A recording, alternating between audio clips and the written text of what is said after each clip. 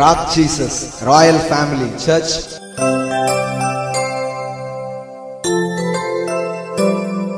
all the promise of God சில வாக்குகள் அல்ல வாக்குத்தத்தங்கள் எல்லாம். இயேசு கிறிஸ்துவுக்குள் எப்படி இருக்குதாம்? ஆம் என்றும் ஆமேன் என்றும் இருக்கிறது. அது எல்லாத்தின் பேரிலையும் இயேசு கிறிஸ்து உங்களை உரிமை உள்ளவர்களாக சொந்தம் உள்ளவர்களாக அவர் மாற்றியிருக்கிறார்.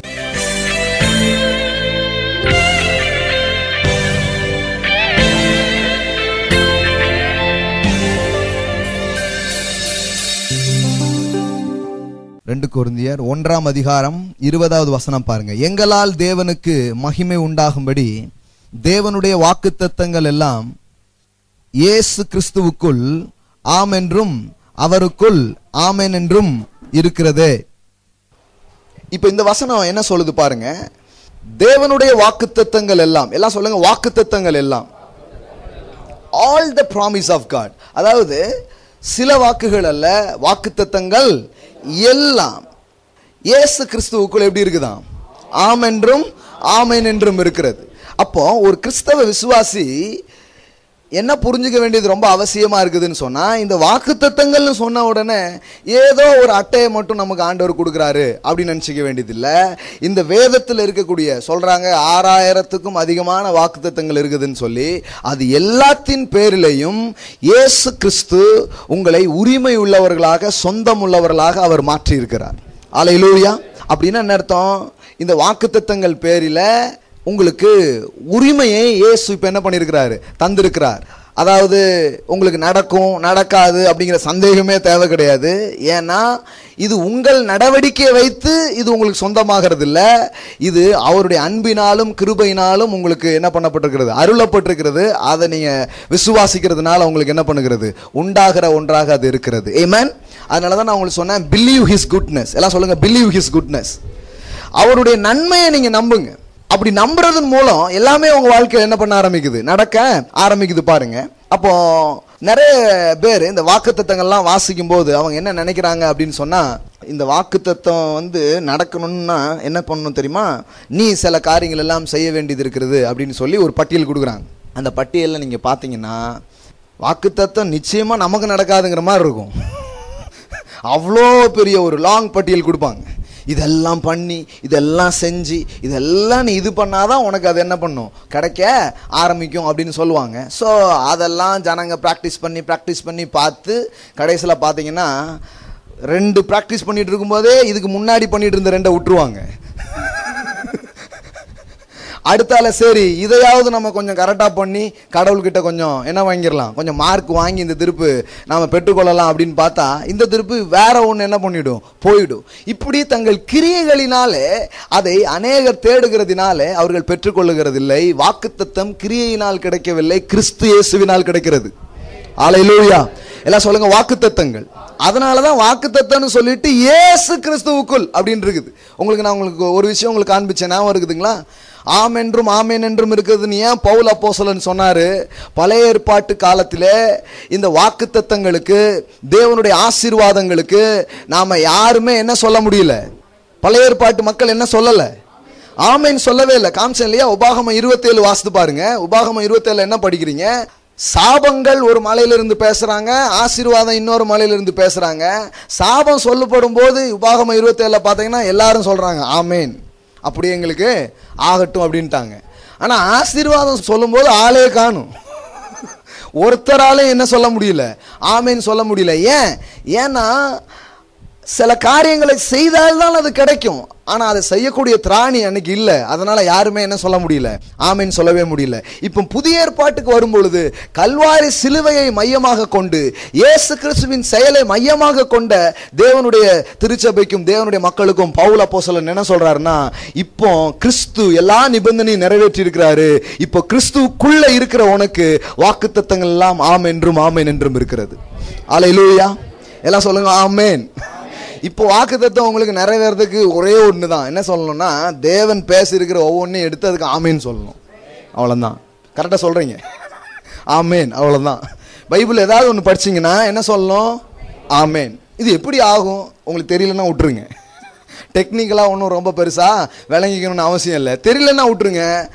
நீயோ கடன் வாங்காதிருப்பாய் நீயோ கடன் அப்படின்னு ஒன்று இருக்குதுங்களா? அதை எடுத்தீங்கன்னா ஆமேன். உங்களுடைய வார்த்தையின்படி எனக்கு மரியாள் ஒரு கிராமத்து பெண் ஒரு சாதாரண ஒரு இளம் வயது குறைந்த ஒரு பெண் தேவனுடைய வாக்குகளை அப்படிதான் அனுபவித்தாள். ஆ? நான் எம்மாத்திரம் இப்படிலாம் நிறைய சொல்கிறா கடைசியில் என்ன பண்ணிட்டான்னா ஒன்னே ஒன்று சொன்னா உங்களுடைய வார்த்தையின்படி எனக்கு. அதுதான் ஆமேன்ங்கிற அர்த்தமே அதுதான். ஆபிரகாம் தேவனை விசுவாசித்தான் அது அவனுக்கு நீதியாக எண்ணப்பட்டது அப்படின்னு போட்டிருக்குது இல்லையா? அது எபிரேய பதத்தில் போய் நீங்கள் படித்தா அதில் எப்படி போட்டிருக்குதுன்னா Abraham say to God amen விசுவாசித்தான்ங்கிறதே இப்படிதான் வருது. ஏமேன் ஆபிரகாம் என்ன பண்ணானா ஆண்டவருக்கு ஆமேன்னு சொன்னான். அவ்வளோதான் வேற எதுக்கு அவன் ஆமேன்னு சொல்ல தயாரா இல்லை எதுக்கு ஆமேன்னு சொல்றான்? வாக்கு தத்தங்களை பார்த்து வாக்கு தத்தங்களுக்கு என்ன சொல்லிட்டான்? ஆமேன்னு சொல்லிட்டான். அது அதை தேவன் சரி என்று கண்டார். அவ்வளவுதான். நீதியா என்ன பண்ணா வேற ஒன்றும் இல்லை. ஓகே இட்ஸ் ஓகே அப்படின்ட்டார். அவர் எடுத்துக்கிட்டார். அவர் அதை அங்கீகரித்து கொண்டார். அப்போ வாக்கு தத்துவனாலே கஷ்டங்கிற மாதிரி ஆக்கிட்டாங்க. அது கஷ்டம் இல்லைங்க. வாக்கு தத்தம்ங்கிறது வந்து எப்படின்னா கஷ்டத்தில் இருக்கிற எனக்கு நம்பிக்கையை தர்ற ஒன்று. அப்படியா நான் வந்துடுவேனா அப்படின்னு உங்களுக்கு உங்கள் வாழ்க்கையை வந்து கிளறி விட்டு உங்களை மறுபடியுமா ஒரு நம்பிக்கை கொள்ள செய்கிறது தான் வாக்கு தத்தங்களாக இருக்கிறது. அதனால் இது கிரியையினால் கிடைக்கல கிறிஸ்து இயேசுவினால் உங்களுக்கு உண்டாயிருக்கிறது. லூவியா இஸ்ரவேலர்கள் அதை கிரியையினால் தேடினார்கள். அவர்கள் காணவில்லை. ஆனால் நீங்களும் நானும் கிரியையினால் தேடாமல் கிறிஸ்து இயேசுவினால் அதை விசுவாசிக்கிறபடினால் நமக்கு இப்பொழுது ஆமேன் என்று சொல்லக்கூடியதாக அது மாறி இருக்கிறது ஆமேன்? லூவியா அப்போ பாருங்கள் இப்போ ப்ராமிஸ் எல்லாம் நம்ம சுதந்திரிக்க முடியுமா? சுதந்திரிக்க முடியும். என்னைக்கு? ஒன்றே ஒன்று நான் அது கூட ஒத்து போனேன் அவ்வளோதான் அதுக்கு ஆமேன்னு சொன்னால் போதும். இப்படிலாம் சொல்லியிருக்கீங்க சுவாமி. சூழ்நிலை ஆயிரம் சொல்லலாம். உங்களுடைய நிலைமை ஆயிரம் காரியங்கள் இருக்கலாம். ஆனால் தேவன் எனக்கு இப்படி சொல்லியிருக்கிறார். அப்போ நீங்கள் இந்த வருஷத்தில் என்ன ஃபோக்கஸ் பண்ண ஆரம்பிங்கன்னா வேதத்தில் இருக்கிற வாக்குத்தத்தங்கள் எல்லாம் எடுங்க. என்னென்ன வாக்குத்தத்தங்கள்லாம் இருக்கோ அதெல்லாம் எடுங்க. இன்னும் சொல்லப்போனால் உங்களுக்கு சாதகமாக எந்தெந்த மாதிரி வாக்குத்தத்தங்கள் தேவை அதெல்லாம் எடுங்க. சிலர் அது எப்படிங்க? நம்மளாம் எப்படிங்க எடுக்க? அவராக கொடுத்தா தானே எடுக்க முடியும்? சில பேருக்கு என்னென்னா பைபிள் படிக்கும்போது கூட அடுத்த பேஜுக்கு போய் திறந்து படிக்க மாட்டாங்க. அந்த மாதிரிலாம் இருக்கிறாங்க. ஏன் தெரியுமா? ருசியாக படிக்கணும். பட்டார்னு தாண்டி போனால் ஆண்டவர் என்ன நினைப்பார்? அதனால் இப்போ நான் அப்படியே ரெண்டு ரெண்டு பேஜாக என்ன பண்ணிகிட்டே இருக்கேன். வாசிட்டே இருக்கேன். இது அந்த மாதிரி ஒரு இது கிடையாது பாருங்கள் இது என்னென்னா ஒரு ஹோட்டல் போகிறீங்க அன்றைக்கி உங்களுக்கு என்ன சாப்பிட்ணுன்னு தோணுதோ என்ன பண்ணுறீங்க ஆர்டர் பண்ணி என்ன பண்ணுறீங்க சாப்பிட்றீங்க. தேவனிடத்தில் நீங்கள் வரும்போது கூட தேவன் வந்து என்ன கேட்குறாருன்னா நீ என்ன விரும்புகிற உனக்கு நான் என்ன செய்யணும்? அப்படி கேட்குறாரு பார்த்துருக்கீங்களா நீங்கள் எங்கேயாவது ஆண்டவர் வந்த உடனே இந்தா உனக்கு இதை வச்சிருக்கேன் போயிட்டு அப்படின்னு நினைச்சிருக்காரா யாரையாவது? தேவன் உங்கள் விருப்பங்களுக்கு மதிப்பளிக்கிற தேவன். ஆலை லூயா நீ விரும்புகிறது என்ன? அப்படி கேட்கிறார் பார்த்துருக்கீங்களா நீங்கள் பைபிளில்? ஏசு சந்திக்கும் போதெல்லாம் கேட்குறாரு ரெண்டு குருடர்கள் வர்றாங்க. வந்து அப்படியே தடவிட்டே வர்றாங்க. ஏசுக்கிட்ட கொண்டாந்து விட்டாங்க. ஏசு கேட்குறாரு நான் உங்களுக்கு என்ன செய்ய வேண்டும் என்று இருக்கிறீர்கள்? நான் மட்டும் குருடனாக இருந்தால் கேட்டிருப்பேன். ஆமாம் இயேசுக்கு கண்ணு தெரியுமா? அப்படின்ட்டு. ஏன் தெரியுமா? எனக்கு நான் தான் குருடனா எனக்கு என்ன தேவை? பார்வை தானே தேவை. ஏன்ட்ட வந்து நான் உனக்கு என்ன செய்ய வேண்டும் என்று இருக்கிறாய் அப்படின்னு ஏன் கேட்கணும்? அப்படின்னா என்ன அர்த்தம்னா இங்கே பாருப்பா அவன் வந்து வேறு என்னெல்லாமோ கூட கேட்டு இருந்திருக்கலாம் வெறும் பார்வை மட்டும்தான் கேட்டு இருந்துக்கணும் அவசியம் இல்லை. ஆண்டவரே இந்த ஊரில் பி- அவ்வளவா பிச்சை ஒழுங்காக போட மாட்டுக்காங்க. மாதம் மாதம் யூதாஸ் மூலமாக எனக்கு ஏதாவது ஸ்பான்சர்ஸ் அனுப்புங்க. கேட்டுருந்துருக்கலாமா கூடாதா? இதெல்லாம் நீங்கள் ரொம்ப யோசிக்கிறீங்க பிரதர் அப்படி. இல்லை என்ன வேணாலும் ஒரு மனுஷன் கேட்க முடியும் தானே? ஆனால் அவன்கிட்ட என்ன கேட்குறாரு நான் உனக்கு அப்படி கேட்குறாரு நான் உனக்கு என்ன செய்யணும் அப்படின்னு கேட்குறாரு சாலமோன் கிட்ட ஆண்டவர் பேசும்போது அதான் கேட்குறாரு நீ விரும்புகிறத கேள் அப்படிங்கிறாரு. நானும் அதைத்தான் பிரதர் தேடிக்கிட்டு இருக்கேன். ஆண்டவர் என்கிட்ட மட்டும் அதை கேட்டாருண்ணா. ஒரு பெரிய பட்டியலே நான் என்ன பண்ணியிருக்கிறேன்? உங்கள் பட்டியலை பார்த்துலாம் அவர் ஷாக் ஆக மாட்டார். அவர் சொல்லுவார் இதெல்லாம் ஒன்றுமே இல்லைப்பா. இதெல்லாம் சாதாரணம். இது ஈஸியாக நிறைவேற்றிடலாம் அப்படின்னு சொல்லுவார். நீங்கள் அவருக்கெல்லாம் ஷாக் கொடுக்க முடியாது. தங்க வீதியில் நடக்கிற அவர். அவர்கிட்ட போய் உங்கள் நீங்கள் வந்து இதோ பெருசாக கனவு அப்படின்ட்டு பாரு. எவ்வளோ பெரிய கனவு காமிச்சாலும் அவர் சொல்வார் பரவாயில்ல நம்ம லெவலுக்கு இல்லை இருந்தாலும் பரவாயில்ல செஞ்சிருவோம் அப்படின்னு தான் சொல்லுவார் ஆலை ஆலையிலூயா அவரை நீங்கள் ஒரு ஒருபோதும் வந்து ஐயோ இவ்வளோ பெருசாக நீ கேட்டிய. யார்ட்டையாவது நீ ரொம்ப ஜாஸ்தி கேட்டிருக்கப்பா. கொஞ்சம் கம்மி பண்ணிக்கோ அப்படின்னு யாரையாவது பார்த்து சொன்னாரா? இஸ்ரேவேலின் பரிசுத்தரை மட்டுப்படுத்தாதீர்கள் தான் பைபிளில் போட்டிருக்கு. அப்படின்னா என்ன? அவரை லிமிட் பண்ணாதப்பா அவரை வந்து ரொம்ப பெருசாக பாரு அவர்கிட்ட ரொம்ப பெருசாக எதிர்பாருன்னு தான் வேதவசனம் என்ன பண்ணுகிறது? சொல்லுகிறது பாருங்க. அப்போ நல்லா கவனிங்க.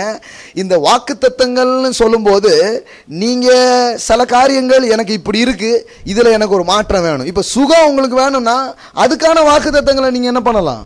உரிமை கோரலாம். செழிப்பு உங்களுக்கு தேவை என்றால் செழிப்புக்கான வாக்குத்தத்தங்கள் என்ன பண்ணலாம்? உரிமை கோரலாம். வெற்றி உங்களுக்கு தேவை என்றால் வெற்றிக்கான வாக்குத்தத்தங்கள் என்ன பண்ணலாம்? உரிமை கோரலாம். ஞானம் எனக்கு தேவை. என் குடும்ப உறவுகளில் சில மாற்றங்கள் எனக்கு தேவை அப்படின்னு சொன்னால் அந்த மாதிரி வேத வாக்குகளை எடுத்துக்கொண்டு அதை நீங்கள் என்ன பண்ண முடியும்? இன்னைக்கு உரிமை பாராட்ட முடியும். அலையிலூயா இல்லைங்க அது வந்து ஆண்டவராக நம்ம கொடுக்கணும்னு நினைக்கிறாங்க. நான் சொல்கிறேன் ஆண்டவர் கொடுத்துட்டாருன்னு வேதவசனம் பேசிகிட்டு இருக்குது. வாக்குத்தத்தங்கள் எல்லாம்னு போட்டிருக்குதுங்களா? கொஞ்சம் உங்கள் பைபிளில் பாருங்கள் ஏதாவது பிரிண்டட் மிஸ்டேக்கான்னு பார்த்துக்கோங்க. தேவனுடைய வாக்குத்தத்தங்கள் எல்லாம் இயேசு கிறிஸ்துவுக்குள் ஆம் என்றும் அவருக்குள். ஆமன் என்றும் இருக்கிறது. எல்லாம் சொல்லுங்க இருக்கிறது. நிறைய காரியம் இருக்கு. ஆனால் நிறைய பேர் எடுத்துக்கல. அன்னைக்கு செமினாரில் பேசும்போது சொன்னேன் இல்லையா என்னுடைய சமாதானத்தை நான் உங்களுக்கு வைத்து போகிறேன். ஆனால் அதை யாருமே எடுத்துக்கல. அவர் வச்சுட்டு போயிருக்கிறார் நிறைய. நாம் எடுத்துக்கொள்ளும்படியாக வச்சிருக்கிறார். அப்போ உங்கள் சூழ்நிலைகள் எதுவாக இருந்தாலும் சரி அந்த இதுக்கு பதில் தரக்கூடிய விதத்தில் நீங்கள் வாக்குகள் என்ன பண்ண முடியும்? உரிமை பாராட்ட முடியும். அப்படி செய்யலாம். அப்படி செய்யக்கூடியவர்களாகத்தான் கத்தர் உங்களை என்னை அழைச்சிருக்கிறாரு. அதை செய்யும்படியான திராணியையும் தகுதியையும் இப்பொழுது நீங்கள் பெற்றிருக்கிறீர்கள் என்பதுதான் சத்தியமாக இருக்கிறது. ஏமா இப்போ நீங்கள் என்ன செய்கிறீங்கிறத வச்சு கிடையாது. அவர் என்ன செய்தாருங்கிறது தான் அடித்தளமாக இருக்கிறது. நிறைய இடத்துல மக்களுக்கு விசுவாசமே வரல. ஏன் தெரியுமா? இவங்க கிரியை ரொம்ப பெருசாக பேசிட்டாங்க. நீ என்ன செஞ்சிருக்கிற? அப்படின்னே ரொம்ப பேசுனதுனால அதை கேட்டு கேட்டு கேட்டு இவங்களுக்கு இது மேலே எந்த நம்பிக்கையுமே இல்லாமல் போயிடுச்சு. இது அப்படிப்பட்ட ஒரு செய்தி அல்ல. இது எப்படிப்பட்ட செய்தினா இயேசு உங்களுக்காக எல்லாவற்றையும் செய்து முடித்திருக்கிறார். இப்பொழுது நீங்கள் விசுவாசித்து அதையெல்லாம் பெற்று அனுபவிக்கலாம். அலையிலூயா வேற ஒன்றும் பெருசாக நீங்கள் இது பண்ண வேண்டியதில்லை. இதை பேசும்போது தான் நான் உங்களுக்கு சொன்னேன். அப்போ சிலர்லாம் கேட்குறாங்க என்ன கேட்குறாங்கன்னா பிரதர் அப்போ இந்த கீழ்ப்படிதல்னு ஒன்று இருக்குதுங்களே அதை பற்றி நீங்கள் ஏதாவது சொல்லவே மாட்டேங்கிங்களே பிரதர் அப்படிங்காங்க நிறைய பேர். நல்லா கவனிங்க. இப்போ வந்து உட்காந்து இதை கேட்குறீங்களே இதுவே எவ்வளோ பெரிய கீழ்ப்படிதல்? இதை வந்து சீடியில் எடுத்துகிட்டு போய் வீட்டில் திருப்பி திருப்பி கேட்குறீங்களே அது எவ்வளோ பெரிய கீழ்ப்படிதல்? காலையும் மாலையும்லாம் சிலர் வந்து கேட்குறீங்களா அது இன்னொரு பெரிய கீழ்ப்படிதல் இல்லைங்களா? சரி நல்லா கவனிங்க. கீழ்ப்படிதல்ங்கிறது வந்து பழைய ஏற்பாட்டுக்கும் புதிய உடன்படிக்கைக்கும் வித்தியாசங்கள் இருக்குது. பழைய உடன்படிக்கையில் கீழ்ப்படிதல் எப்படி வருதுன்னா நீ கீழ்ப்படிஞ்சா இதெல்லாம் உனக்கு தருவேன் அப்படி சொல்கிறார் இதெல்லாம் ஒபே பண்ணு அப்போல்லாம் உனக்கு என்ன பண்ணுவேன்?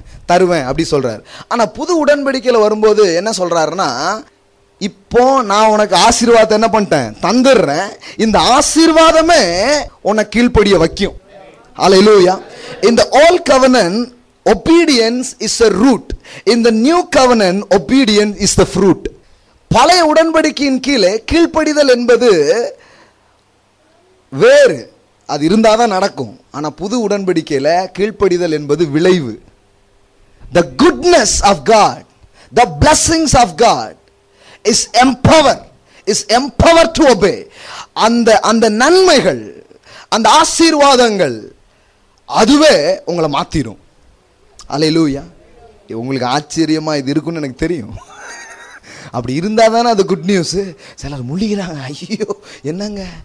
படிஞ்சாதான் தருவார்னாரு இவர் இது வேற மாதிரி சொல்கிறாங்களா அப்படின்ட்டு. வேற மாதிரி சொல்லலை. பழைய உடன்படிக்கையும் புது உடன்படிக்கைக்கும் ஜனங்களுக்கு இன்னைக்கு வித்தியாசம் தெரியாதனால தான் போட்டு குழப்பிட்டு இருக்காங்க. அன்னைக்கு செஞ்சா கிடைக்கும். இன்னைக்கு கிடைச்சிருக்குப்பா அப்படின்னு முதல்ல சொல்லிட்டாரு. இன்னும் உங்களுக்கு புரியுற மாதிரி சொல்றேன் பாருங்க. விபச்சாரத்தில் கண்டுபிடிக்கப்பட்ட ஒரு ஸ்திரியை இயேசுகிட்ட என்ன பண்ணுறாங்க கொண்டு வராங்க. கொண்டு வராங்களா? கொண்டு வந்த உடனே பழைய ஏற்பாட்டில் அப்படி கண்டுபிடிச்சா என்ன பண்ணுவாங்க? கல்லெறிஞ்சு கொல்லுவாங்க. இல்லையா? கல்லெறிஞ்சு கொல்லணும். ஆனால் இயேசு என்ன சொல்கிறாருன்னா ஸ்திரீயே நான் உன்னை ஆக்கினைக்குள்ளாக ஆ? அப்படி சொல்லிட்டு என்ன சொன்னாரு? இனி பாவம். அதாவது நான் உன்னை ஆக்கினைக்குள்ளாக தீர்க்க மாட்டேன் நீ பாவம் செய்யாதே. இப்போ பழைய உடன்படிக்கையின் கீழே இது எப்படி வரும் தெரியுமா? இப்போ இயேசு வந்து முதல்ல நீ பாவம் செய்யாதே உன்னை ஆக்கினைக்குள்ளாக தீர்க்க மாட்டேன். அப்படி சொல்லல. ரைச்சஸ்னஸையும் ஃபர்கியூனஸையும் முதல்ல கொடுத்துட்றாரு. என்ன சொல்றாரு? நான் உன்னை ஆக்கினைக்குள்ளாக பழைய உடன்படிக்கைகள் எப்படி இருக்குது? நீ பாவம் செய்யாதே நான் உன்னை ஆக்கினைக்குள்ளாக. இதான் ஓல் கவனன்ட்டு நீ செய்யாத நான் தீர்க்க மாட்டேன். ஆனால் இங்கே என்ன சொல்லிட்டாருன்னா நான் உன்னை தீர்ப்பது இல்லை. இது முதல்ல சொல்லிட்டாரு. அதாவது த கிஃப்ட் ஆஃப் ரைச்சஸ்னஸை முதல்ல கொடுத்துட்றாரு முதல்ல அவர் அதை தந்துடுறாரு அப்படி தந்ததின் விளைவாக இப்போ பாவத்தின் மீது ஜெயமுள்ள ஒரு வாழ்க்கையை ஒரு மனிதன் வாழ்கிறான். அலையலூவியா eh, கொஞ்சம் கொஞ்சம் தான் புரியுது. பரவாயில்ல ஒன்றும் பிரச்சனை இல்லை. பிக்கப் eh, பண்ணிக்கலாம். Eh, புது உடன்படிக்கையினுடைய மேன்மை அதுதான் பாருங்க. அன்னைக்கு வந்து அப்படி கிடையாது. அன்னைக்கு நீ செய்யாத நான் உன்னை என்ன பண்ண மாட்டேன்? தீர்க்க மாட்டேன். இப்போ என்ன சொல்றாருன்னா முதல்லயே பெண்ணே நான் உன்னை ஆக்கினைக்குள்ளாக there is no condemnation in Christ Jesus ஆக்கினை தீர்ப்புங்கிறது இப்போ உனக்கு கிடையாது. உனக்கு தண்டனை கிடையாது. உன்னை நான் தண்டிக்க மாட்டேன். ஏசு வந்து இப்படி சொல்லலைங்க. நீ ஒழுங்கா இருப்பியாமா ஆக்கு கொடு பார்ப்போம் எனக்கு. இனிமே திருந்தி ஒழுங்காக வாழ்வேன்னா உனக்கு நான் என்ன தரேன்? மன்னிப்பை தரேன். அப்படி சொன்னாரா? அப்படி சொல்லலை. இஸ் அன்கண்டிஷனல் எந்த நிபந்தனையும் இல்லாமல் அவர் என்ன சொன்னார்னா நான் உன்னை ஆக்கினைக்குள்ளாக தீர்க்க மாட்டேன். அப்படி சொன்னார். த கிஃப்ட் ஆஃப் ரைச்சஸ்னஸ் அதாவது இந்த நிபந்தனை இல்லாத இந்த நீதியும் இந்த இறக்கமும் கிருபையும் அந்த பெண்ணுக்குள்ளே சென்றதுதான் பாவத்தின் மீது வெற்றியுள்ள வாழ்க்கை வாழ உதவி செய்கிறது. அலை லூயா நீங்க நீங்க பாருங்க இது பைபிள் ஃபுல்லா பாருங்க. இப்போ நான் சொல்றது வந்து உங்களுக்கு கொஞ்சம் பிரதர் அப்படிங்கிற மாதிரி இருக்கும். கொஞ்சம் கவனிங்க நல்லா புரியும். பேதருடைய வாழ்க்கையில் இந்த போட்டை வந்து என்ன பண்ணுறாரு நிரப்புறாரு. நிரப்புறாரா? ஏசு மீன் ராத்திரிலாம் ட்ரை பண்ணுறான் என்ன கிடைக்க மாட்டேங்குது மீன் கிடைக்கல. ஸோ இப்போ ஆண்டவர் வந்து அவனுக்கு போட்டெல்லாம் என்ன பண்ணுறாரு ஃபில் பண்ணி கொடுத்துட்றாரு. இப்போ பேதர் எப்போ மனம் திரும்புறாரு? எப்போ மனம் திரும்புறாரு? மனம் திரும்பின பிறகு போட்டு நிரம்பிச்சா போட்டு நிரம்பின பிறகு மனம் திரும்பினானா? ஸோ நாம் என்ன சொல்லிட்டோம்னா இந்த நிலையிலலாம் உனக்கு அவர் ஒன்றும் பண்ண மாட்டார். போய் திருந்திட்டு வா அப்படின்ட்டோம். நீ என்னைக்கு மாறிட்டு வர்றியோ அன்னைக்கு தான் அவர் மாறுவார் அப்படின்ட்டாங்க. இல்லைங்க மாற்றங்கிறது என்னால் உண்டு பண்ண முடியாது. அது என்னால் முடியலன்னு தானே நானே உங்ககிட்ட வந்திருக்கேன். இப்போ இவனை பிடிச்சிக்கிட்டு நீ மாறினாதான் உனக்கு தருவார் அப்படின்ட்டாங்க. இல்லை இல்லை இல்லை இல்லை the goodness of God it's leads to repentance ஹalleluya எல்லாம் சொல்லுங்க தேவனுடைய நன்மை உன்னை குணப்படும்படி ஏவுகிறது. ஹalleluya இந்த போட்டை நிறைச்சாரு பாருங்க அதை பார்த்துட்டு அவன் சொல்கிறான் நான் பாவியான மனுஷன். என்னை விட்டு நீங்கள் போயிடுங்க அப்படிங்கிறான். லுக்கு அஞ்சில் இருக்குது பேதர் என்ன சொல்கிறான் நான் பாவியான மனுஷன் நீர் என்னை விட்டு இயேசு அவனை பார்த்து ஓ பாவியை மனம் இப்படி சொன்னாரா? பாவின்னு கன்ஃபர்ஸ் பண்ணது ஜீசஸாக பேதுருவாங்க. ஜீசஸ் சொல்லலை நீ பாவிப்பா உன் இருதயத்தில் எங்கேயோ கொஞ்சம் சரி இல்லை அது சரி பண்ணிட்டு வா. உன் போட்டு ஏன் ஓட்டையாக இருக்கு தெரியுமா? ஓன்ட்ட நிறைய ஓட்டை இருக்கிறதுனால தான். அவன் என்னைக்கு கிளியர் பண்ணுதியோ? அன்னைக்கு தான் உன் ஓட்டெல்லாம் நிரம்பும். அப்படி சொல்லலை. It is a religious message இது வந்து லா மெசேஜ் தான் அப்படி இருக்குது. ஆனால் கிருபையின் செய்தி அப்படிப்பட்டதல்ல. கிருபையின் செய்தி என்னன்னா கத்தர் வந்து என்ன பண்ணுறாருன்னா எப்பா உன் போட்டை நான் என்ன பண்ணுறேன் ஃபில் பண்ணுறேன் முதல்ல ஃபில் பண்ணுறாரு ஃபில் பண்ணுறத பார்த்து அந்த நன்மையை பார்த்து இவனுடைய மனசு மாறுது. இந்த இருதயம் மாறுது. இவன் இருதயம் மாறி அவன் சொல்கிறான் ஆண்டவரே நான் அந்த அளவுக்கு சரியில்லையே அப்படிங்கிறான். அத்தர் சொல்கிறாரு இல்லை இல்லை இல்லை ஏன் பின்னாடி வா நான் உன்னை மனுஷனை பிடிக்கிறவனாக்குவேன் அப்படின்னாரு. மீனை கூட பிடிக்க முடியலல்ல. உன்னை வச்சு உலகத்தே ஒரு கலை கலக்க போகிறான் வான்னு கூப்பிட்டார். அலையிலூயா ஏமன் இந்த இடத்துல நன்மை முதல்ல வந்துதா மாற்றம் முதல்ல வந்துதா லூயா எல்லாம் சொல்லுங்க குட்னஸ் அதனால தான் நான் உங்களுக்கு முதல் வாரமே இதை சொன்னேன். என்ன சொன்னேன்னா ஆண்டவர்கிட்ட எப்போதுன்னு சொல்லுங்க தேவனே உங்களுடைய நன்மையினால் என் வாழ்வை மாற்றும். Hallelujah Lord change me my life through your goodness through your goodness உங்கள் நன்மையினால் என்ன என்ன பண்ணுங்க? மாற்றுங்க. ஜீசஸ் மீட் பண்ண ஒவ்வொருத்தருடைய வாழ்க்கையை பாருங்க. சகேவுடைய வாழ்க்கையை பாருங்க. சகேவுடைய வாழ்க்கையில் இயேசுவை பார்க்கணும்னு ரொம்ப ஆசையாக எங்கே உட்காந்துருக்கிறான் மரத்து மேலே உட்காந்துருக்கிறான் இல்லையா? இப்போ இயேசு அந்த வழியாக வந்துட்டு என்ன சொல்கிறாரு சகைவே இறங்கி வா நான் உன் வீட்டில் தங்கணும் அப்படின்னு சொன்னார். சுற்றியில் இருக்கிறவங்கலாம் ரொம்ப டென்ஷன் ஆகிட்டாங்க இவன் வீட்டில் போய் தங்கணுங்கார இயேசு. நம்மெல்லாம் எவ்வளோ நாள் உபவாசத்தோடு வெயிட் பண்ணிகிட்டு இருக்கோம் நம்ம வீட்டுக்கு வரல. இவன் ஊரே அடித்து ஒலையில் போட்டுட்டு இருக்கிற ஒரு ஆள். ஊரை வந்து மக்களெல்லாம் வந்து ஏமாத்தி அநியாயமாக வரி வசூல்லாம் பண்ணி இவன் வந்து இருக்கிற ஒரு ஆள். ஆனால் ஏசு யார் வீட்டுக்கு போகிறாங்கிறாரு இவன் வீட்டுக்கு போகிறாங்கன்னு எல்லாருக்கும் ஒரு ஒரு விதமான இது. ஆனால் ஏசு சொன்னார் நான் இன்றைக்கி உன் வீட்டில் தங்கணும் அப்படின்ட்டு. நீங்கள் யோசித்து பாருங்கள் அந்த கதையில் இயேசு அந்த வீட்டுக்குள்ளே வந்த உடனே சகைவுக்குள்ளே ஒரு மாற்றம் வருது. சகைவு சொல்கிறான் ஆண்டவரே நான் அந்த மாதிரி சரியான ஒரு ஆள் இல்லை. கொஞ்சம் பேட்டெல்லாம் அப்படிலாம் வாங்கியிருக்கேன். ரிட்டர்ன் பண்ணிடலான் இருக்கிறேன் அப்படிங்கிறான். ஏசு சொன்னார் இவனும் ஆப்ரஹாமுக்கு குமாரனா இருக்கிறானே அப்படின்னு சொன்னார். நல்லா கவனிங்க இந்த கதையை அப்படியே படிச்சுட்டு போயிடக்கூடாது. கரெக்டான பாயிண்ட் விட்டுறக்கூடாது. என்ன பாயிண்ட்னா இவன் மாறினதுக்கப்புறம் ஏசு வந்தாரா? ஏசு வந்ததுக்கப்புறம் அவர் ஒரு மாறினானா? லூயா சகைவே உன் வீட்டுக்குள்ளே நான் வரணும்னா முதல்ல அந்த லஞ்ச பணத்தை தூக்கி வெளியே போடு. இந்த ஊரை அடிச்சு ஏமாற்றி வச்சுருக்க பாரு. அது இருந்தா நான் வர முடியாது. அதெல்லாம் தூக்கி நீ போட்ட பிறகு தான் நான் வருவேன் அப்படி சொன்னாரா? சொல்லலை. ஏன்னா அப்படிப்பட்ட ஒன்று அல்ல புது உடன்படிக்கை என்பது. புது உடன்படிக்கையின் இறக்கங்கள் கிருபை எப்படி இருக்குன்னா நீங்கள் என்னவாகவே இருக்கிறீங்களோ அதுவாகவே தேவன் உங்களை ஏற்றுக்கொண்டு உங்களை ஆசிர்வதிக்கிறவராக இருக்கிறார். அலையிலூயா எல்லாம் சொல்லுங்க தேவன் நான் இருக்கிற வண்ணமாய் என்னை ஏற்றுக்கொள்கிறார் என்னை நேசிக்கிறார் என்னை ஆசீர்வதிக்கிறார் என்னை உயர்த்துகிறார். அதுக்கு எந்த நிபந்தனையும் இல்லைங்க. அதனால தான் இங்கே நான் எழுதி போட்டேன். Jesus loves you condition not apply அப்படின்ட்டு.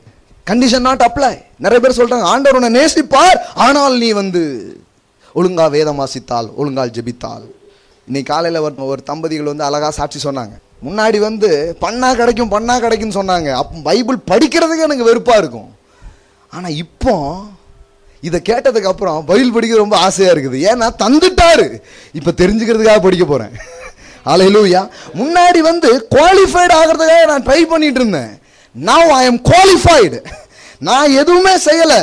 இயேசு செஞ்ச செயல் மேலே நான் வச்ச விசுவாசம் என்னை என்னவா மாற்றிடுச்சு குவாலிஃபைடாக மாற்றிடுச்சு தகுதி உள்ளவனை மாற்றிடுச்சு அப்படி சொன்னதுக்கப்புறம் ஒரு பெரிய ரெஸ்ட்டு இப்போ சந்தோஷமாக பயில் படிக்கிறோம் அப்படின்னு சொல்கிறாங்க அலையிலூயா காலையில் நாலு மணிக்கெல்லாம் எந்திக்கிறேன் அப்படிங்கிறாரு. பையில ஆர்வமாக உட்காந்து படிக்கிறேன். பக்கம் பக்கமாக உட்காந்து இப்போ நோட்ஸ்லாம் எடுக்கிறேன். ஏன்? இப்போ ஏன் பண்ணிக்கிறதுக்காக இப்போ கிரியையினால பெற்றுக்கொள்றதுக்காக இதை பண்ணல. அன்பு அந்த அதெல்லாம் புரிஞ்சுக்கிட்டு இப்போ ரொம்ப ஆசையா செய்யறேன் நல்லா ஜெபம் பண்றேங்க. முன்னாடி வந்து பண்ணினியா பண்ணினியா பண்ணினியான்னு கேட்பாங்க. எனக்கே ரொம்ப வெறுப்பா இருக்கும். ஆமா போ அப்படிங்கிற மாதிரி ஆயிடும். ஆனா இப்போ யாருமே என்னை கேட்க வேண்டியதில்லை. ஆனா மனப்பூர்வமா என்னால செய்ய முடியுதுங்க பாருங்க. இதுதான் புது உடன்படிக்கையின் மாற்றங்களாக இருக்கிறது. ஆலையிலூயா அப்போ வேதத்தினுடைய வாக்குத்தத்தங்களை நீங்கள் இந்த விதத்தில் புரிஞ்சுக்கணும். உங்கள் கிரியையை வைத்து கணக்கு போட்டு உங்களுக்கு அதை தரல. இயேசு செஞ்ச கிரியையை கணக்கு வைத்து உங்களுக்கு எல்லாவற்றையும் தருகிறார். உங்கள் பாவ கணக்கெல்லாம் அவர் அக்கௌண்ட்டில் வந்துச்சா? அவர் அக்கௌண்ட்டில் வந்துச்சா வரலையா? அவர் அக்கௌண்ட்டுக்கு வந்துச்சு. சிலுவையில் வந்துச்சா வரலையா? வந்துச்சு. செஞ்சது யார்? நாம. ஆனால் அது அவர் அக்கௌண்ட்டில் வந்து அவர் அதற்கான எல்லா தண்டனையும் என்ன பண்ணாராம்? அடைந்தார். இப்போ அவருடைய நீதி உங்க அக்கௌண்ட்டுக்கு வந்திருக்கு. இப்போ அதை நம்புற ஆளால இதை நம்ப முடிய மாட்டேக்கு. என்னங்க நீதி நம்ம அக்கௌண்ட்ல வந்ததுங்காங்களே? நிஜமா இது? நம்ம அக்கௌண்ட்ல வேற இதெல்லாம் இல்லை. அவர் பாவமானார். பாவம் செய்யவில்லை. நீங்கள் நீதியாக்கப்பட்டிருக்கிறீர்கள். நீதி செய்யாமலேயே. அலையிலூயா. இது புரியாம விசுவாசமே வேலை செய்யாதுங்க. ரெண்டு குழந்தையர் அஞ்சு இருபத்தி ஒண்ணுங்க. நாம் அவருக்குள் இயேசு கிறிஸ்துவுக்குள் தேவனுடைய நீதியாகும்படி பாவம் அறியாத அவரை நமக்காக என்ன ஆக்குனாரு எல்லாம் சொல்லுங்க அவர் பாவம் அறியாதவர். இயேசு பாவம் செஞ்சாரா? செய்யல. ஆனா அவர் என்ன ஆனாரு? பாவமானார் செய்யாமலே எப்படிங்க ஆக முடியுது? இப்ப நிறைய பேருக்கு நான் என்ன ஒண்ணுமே செய்யலையே என்ன எப்படி நீதிமான்ங்கிறீங்க? பாவின்னா டக்குன்னு ஒத்துக்கிறாங்க எல்லாருமே. அது கரெக்ட் அப்படின்ட்டு. ஆனா நீதிமான் எப்படி சொல்றீங்க? எப்படி சொல்றேன்னா இயேசு பாவமே செய்யாம என்ன ஆயிட்டாரு? பாவமானார். அதுபோல நீங்கள் நீதியே செய்யாமல் உங்களை நீதிமானாக மாற்றியிருக்கிறார். அலையிலோயா இது வந்து ஒரு பரிசு. It is a gift of God Roman five seventeen வாசிங்க. ரோ- ரோமர் அஞ்சு பதினேழு வாசிங்க. அல்லாமலும் ஒருவனுடைய மீறுதலினாலே அந்த ஒருவன் மூலமாய் மரணம் ஆண்டு கொண்டிருக்க கிருபையின் பரிபூர்ணத்தையும் நீதியாகிய ஈவின் பரிபூர்ணத்தையும் பெறுகிறவர்கள். கிருபையின் பரிபூர்ணம். எல்லாம் சொல்லுங்க கிருபையின் பரிபூர்ணம். அதுக்கப்புறம் நீதியாகிய ஈவின் அப்ப நீதிங்கிறத நீதிங்கிறது என்னன்னு சொல்லியிருக்குது? ஈவ். ஈவ்னா என்ன? Gift. Righteousness is a gift of god. Hallelujah. It's not a reward righteousness is not a reward it is a gift of God ரிவார்டுனா என்ன? நீங்க வந்து ஏதோ பந்தயத்தில் வந்திருப்பீங்க ஓடி இருப்பீங்க ஏதாவது செஞ்சிருப்பீங்க அதனால உங்களுக்கு என்ன கொடுப்பாங்க? கொடுக்கறதுக்கு பேர் என்னது? ரிவார்ட் ஆனால் ரைச்சஸ்னஸ் ரிவார்டுன்னு போடல. ரைச்சஸ்னஸ் என்னன்னு போட்டிருக்குது. It is a gift of God லூயா யூ cannot ஆன் இட் நீங்கள் சம்பாதிக்க முடியாது. இது அன்பினால அவர் உங்களுக்கு தரார். ஹலை லூயா இது உங்களுக்கு புரியணும் இது புரிஞ்சாதான் இதை எடுத்துக்கிறதுல ஒரு தைரியமே வரும். இட்ஸ் மைன் அப்படின்னு நீங்கள் சொல்லுவீங்க. இன்னைக்கு ஜனங்களால் ஏன் வாக்குறத உரிமை போட முடியலன்னா ஏதோ உங்க வந்து இடிக்குது. நமக்கு எப்படிங்க? அப்படிங்கிற மாதிரியே இருக்குது ஆனால் இது உங்க நீதி மட்டும் உங்களுக்கு புரிஞ்சிச்சுன்னா எல்லா வாக்கு மேலே உங்களுக்கு தைரியம் வந்துடும் ஏன்னா வேதம் சொல்லுது நீதிமான் சிங்கத்தை போல் தைரியமாக இருப்பான். அலையிலூயா நீதி பற்றிய சத்தியம் ரொம்ப முக்கியமான சத்தியம் பாருங்க. அதை பற்றி வர நாட்கள் இன்னும் நல்லா பேச போகிறோம் நிறைய. ஆனால் இப்போ லேசாக உங்களுக்கு சொல்கிறேன் பாருங்க. ரைச்சஸ்னஸ் என்பது ஒரு ரிவார்ட் கிடையாது. அது என்னது? கிஃப்ட் அலையிலூயா எல்லாம் சொல்லுங்க கிஃப்ட் ஆஃப் ரைச்சஸ்னஸ் அப்போ இதை வந்து இலவசமாக தரார் இது நீங்கள் எதையா செஞ்சீங்கன்னா நீங்கள் ஒரு மாதம் ஃபுல்லாக ஒருத்தர் உங்கள்கிட்ட வேலை பார்க்குறாரு. அந்த மாதம் முடிஞ்ச உடனே நீங்கள் கூப்பிட்டு இந்த பத்தாயிரரூவா கிஃப்டாக வச்சுக்கோ அப்படின்னு சொல்லி பாருங்க. கிஃப்டா அதுக்கு பேர் கிஃப்டா அது அவ்வளோ நாள் வேலை பார்த்ததுக்கு கூலி சம்பளம். அது கிஃப்ட் கிடையாது. அதை தாண்டி நீங்கள் ஏதோ ஒன்று அவனுக்கு கொடுக்குறீங்க. அதுக்கு பேர் தான் இது கிஃப்ட் ஒன்றுமே செய்யலை சார். இல்லை வச்சுக்கோப்பா. அப்படின்னு கொடுக்குறீங்க பாருங்க. அதுக்கு பேர் தான் என்னது? அதாவது ஒரு செயலே வரல. அப்போ உங்களுக்கு தந்தாதான் அதுக்கு பேர் என்னது? கிஃப்ட் இப்போ நம்ம கொடுக்குற கிஃப்ட்டும் தப்பான அர்த்தமாயிடுது. அது வேற. இப்போ கல்யாண வீட்டிலலாம் கிஃப்ட்டுங்க கிஃப்ட்டுக்கு பதில் கிஃப்ட்டு மோதிரத்துக்கு பதில் மோதிரம். அதனால் அதனால நமக்கு நம்ம லாங்குவேஜில் கிஃப்ட்டுமே கொஞ்சம் வேற மாதிரி தான் ஆயிடுது.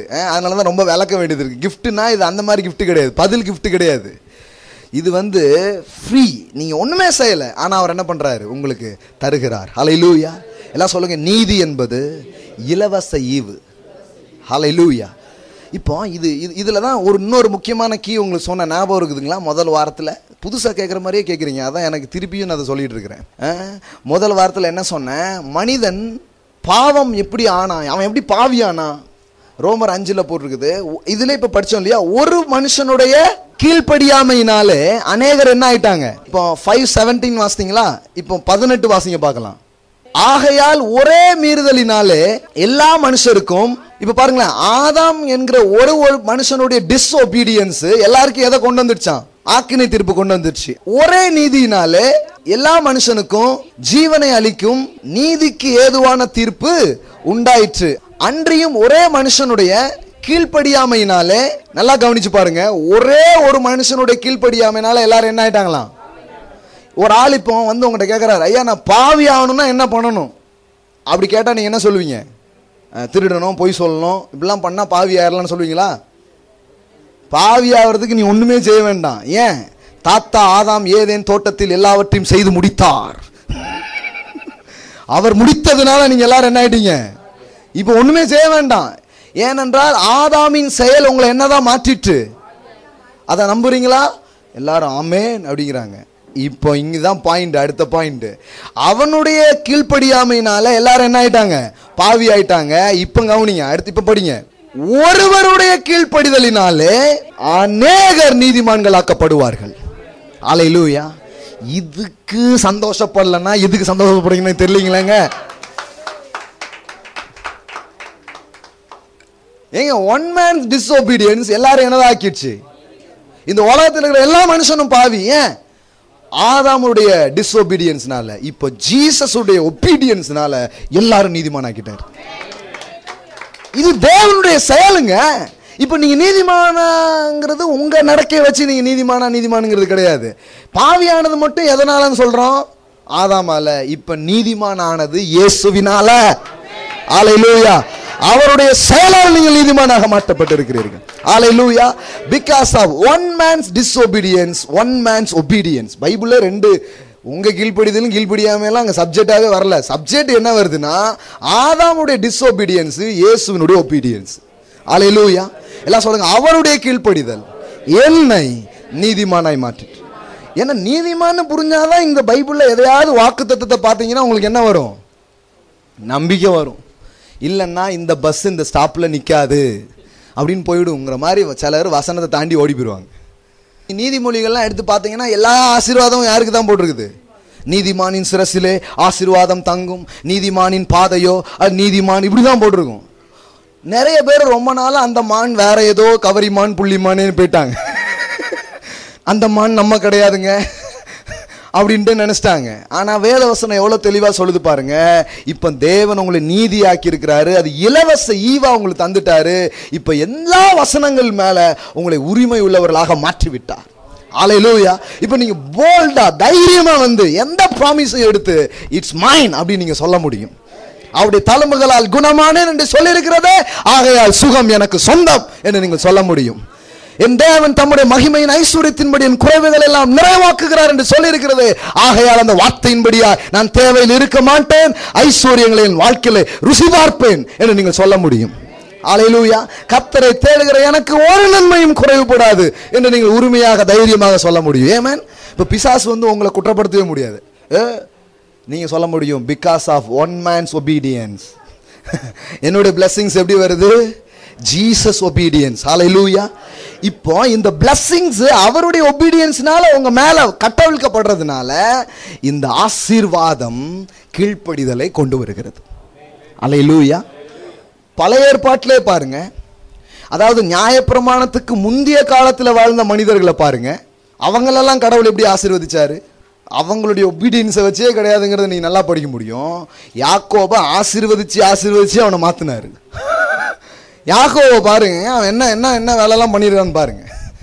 அவ்வளோ வேண்டாத வேலையும் பண்ணியிருக்கிறான். ஆபிரகாம பாருங்க அதே மாதிரி அவன்கிட்ட ஏராளமான குறைகள் இருக்குது. ஆனால் எப்படி அவங்க ஆசீர்வதிக்கப்படுறாங்கன்னா உடன்படிக்கையினாலும் தேவனுடைய அந்த நீதியை நம்பினதினாலும் அவர்கள் என்ன பண்ணப்பட்டார்கள்? ஆசீர்வதிக்கப்பட்டார்கள். ஹalleluya அதனால தான் ரட்சிப்பே உங்களுக்கு எப்படி கிடைக்குதுன்னா கிரியையில் கிடைக்கல கிருபையில் கிடைச்சிருக்கு. விசுவாசத்தினால் அதை பெற்றுக்கொண்டீங்கன்னு வேதவசனம் சொல்லுது. ரட்சிப்பு மட்டும் இல்லை வேற எந்த ஆசீர்வாதங்களும் கிருபையினால் உண்டாகி விசுவாசத்தினால் தான் பெற்றுக்கொள்கிறீர்கள். ஆலையிலூயா நாட் ஓன்லி சால்வேஷன் ஹீலிங் அப்படி தான் வருது. Prosperity அப்படிதான் வருது. Prosperity கிருபையினால தான் prosperity வருது. தெரியுங்களா உங்களுக்கு? ரெண்டு குறைஞ்சி எட்டு ஒன்பதில் நீங்கள் வாசிக்கும் போது என்ன வாசிக்கிறீங்க? ப்ராஸ்பரிட்டியை பற்றி பேசும்போது எப்படி பேசுகிறாரு நம்முடைய கத்தராகிய இயேசு கிறிஸ்துவின் கிருபையை அறிந்திருக்கிறீர்களே. என்ன அந்த கிருபை? அவர் ஐஸ்வர்யம் உள்ளவராயிருந்தும் நீங்கள் அவருடைய தரித்திரத்தினாலே ஐஸ்வர்யவான்கள் ஆகும்படிக்கு உங்கள் நிமித்தம். அப்போ முதல்ல என்ன பேசுறாரு? கத்தராக இயேசு கிறிஸ்துவின் கிருபையை. ஏ உனக்கு தேவனுடைய கிருபை உங்களுக்கு தெரியுமா? என்ன அந்த கிருபை? கிருபை உனக்கு என்ன பண்ணுக்கு தெரியுமா? அவருடைய தரித்திரத்தை உனக்காக அவர் தரித்திரமானார் சிலுவையில். ஏன்னா உன்னை ஐஸ்வர்யவனாக மாற்றும்படி. அப்போ நீங்கள் ஐஸ்வர்யவனா எப்படி ஆகுறீங்கன்னா அவருடைய ஆக்ட் உங்களை ஐஸ்வர்யவனாக மாற்றி இருக்குதுங்க ஆலை இந்த மோஃபட் டிரான்ஸ்லேஷன் ஒன்று இருக்குது. அதில் நீங்கள் பார்த்தீங்கன்னா அது எப்படி அதில் வருது இந்த வசனம் அப்படின்னா சிலுவையில் எந்த மூமெண்ட்டில் இயேசு தரித்திரரானாரோ அந்த மூமெண்ட்டே நீங்கள் ரிச் ஆகிட்டீங்க அப்படின்னு இருக்கு. ஹalleluya அவர் தரித்திரர் ஆனாரே அப்போது நீங்கள் ஐஸ்வர்யவனாக மாற்றப்பட்டிருக்கிறீர்கள். ஹalleluya அதனால தான் இந்த ரெண்டு செமினாரில் ஐ ஹேவ் மென்டாலிட்டி கிராட்டிடியூட்ஸ் பற்றி உங்களுக்கு பேசினேன். என்ன பேசினேன்னா ஆல்ரெடி ஐ எம் ரிச் அப்படின்னு எண்ணும் போது தான் ரிச் உங்ககிட்ட வர ஆரம்பிக்கும். ரிச்னஸ் வர ஆரம்பிக்கும். ஏமேன் நான் ஏழையாக இருக்கேங்க. எங்களுக்கு பணம் வருமா? அப்படின்னீங்கன்னா வராது. ஏன்னா உள்ளவனுக்குத்தான் கொடுக்கப்படும். ஐஸ்வர்யவான் என்கிற அறிவு உங்களுக்கு இருந்தால் ஐஸ்வர்யம் உங்களுக்கு கொடுக்கப்படும். ஆலையிலூயா இல்லை இல்லைன்னா உங்களுக்கு வராது. இருக்குன்னா தான் வரும். உண்டு அப்படின்னா தான் உண்டாக ஆரம்பிக்கும். ஆலையிலூயா அப்போ கிருபையினால தான் என்ன வருது? ஐஸ்வர்யமும் வருது. ஹalleluya சுகமும் அப்படிதான். அந்த பெரும்பாடுள்ள ஸ்திரீ வந்து மோசையின் பிரமாணங்களின் அடிப்படையில் சுகத்தை பெற்றுக்கொள்ளலை. ஏன்னா மோசையின் பிரமாணங்களின் அடிப்படையில் சுகத்தை பெற்றுக்கொள்ளணும்னா அவள் வீட்டை விட்டு என்ன பண்ணக்கூடாது? வெளியே வரக்கூடாது. அவ பிரமாணத்தை புரோக் பண்ணி இயேசுவை தொட்டு சுகத்தை இப்போ எடுத்துக்கொண்டாள். ஆலை லூயா கிருபையினால தான் சுகம் வருது பாருங்க. அப்போ தேவனுடைய எந்த ஆசீர்வாதங்களும் உங்க கிரியையை அஸ்திபாரமாக கொண்டு அது வைக்கப்படவில்லை. அது இயேசு கிறிஸ்துவின் செயல் அஸ்திபாரமாக கொண்டு வைக்கப்பட்டிருக்கிறது. ஆகையால் அதன் பேரில் நீங்கள் உரிமை கொள்ளலாம். ஆலை லூயா இன்னும் உங்களுக்கு புரியுற மாதிரி சொல்கிறேன் பாருங்கள் நீங்கள் பிறந்து வாழ்ந்து என்ன செஞ்சீங்க என்ன செய்யலை இதெல்லாம் பார்த்து கடவுள் உங்களை ஆசீர்வதிக்கலாமா வேண்டாமாங்கிற இதுக்கெல்லாம் அவர் வரல. அவர் எப்போதே ஒரு முடிவுக்கு வந்துட்டார். எபேசியர் ஒன்றாம் அதிகாரம் நாலு பாருங்க. தமக்கு முன்பாக நாம் அன்பில் பரிசுத்தம் உள்ளவர்களும் குற்றம் இல்லாதவர்களுமா இருப்பதற்கு அவர் உலக தோற்றத்திற்கு முன்னே கிறிஸ்துவுக்குள் நம்மை தெரிந்து கொண்டபடியே.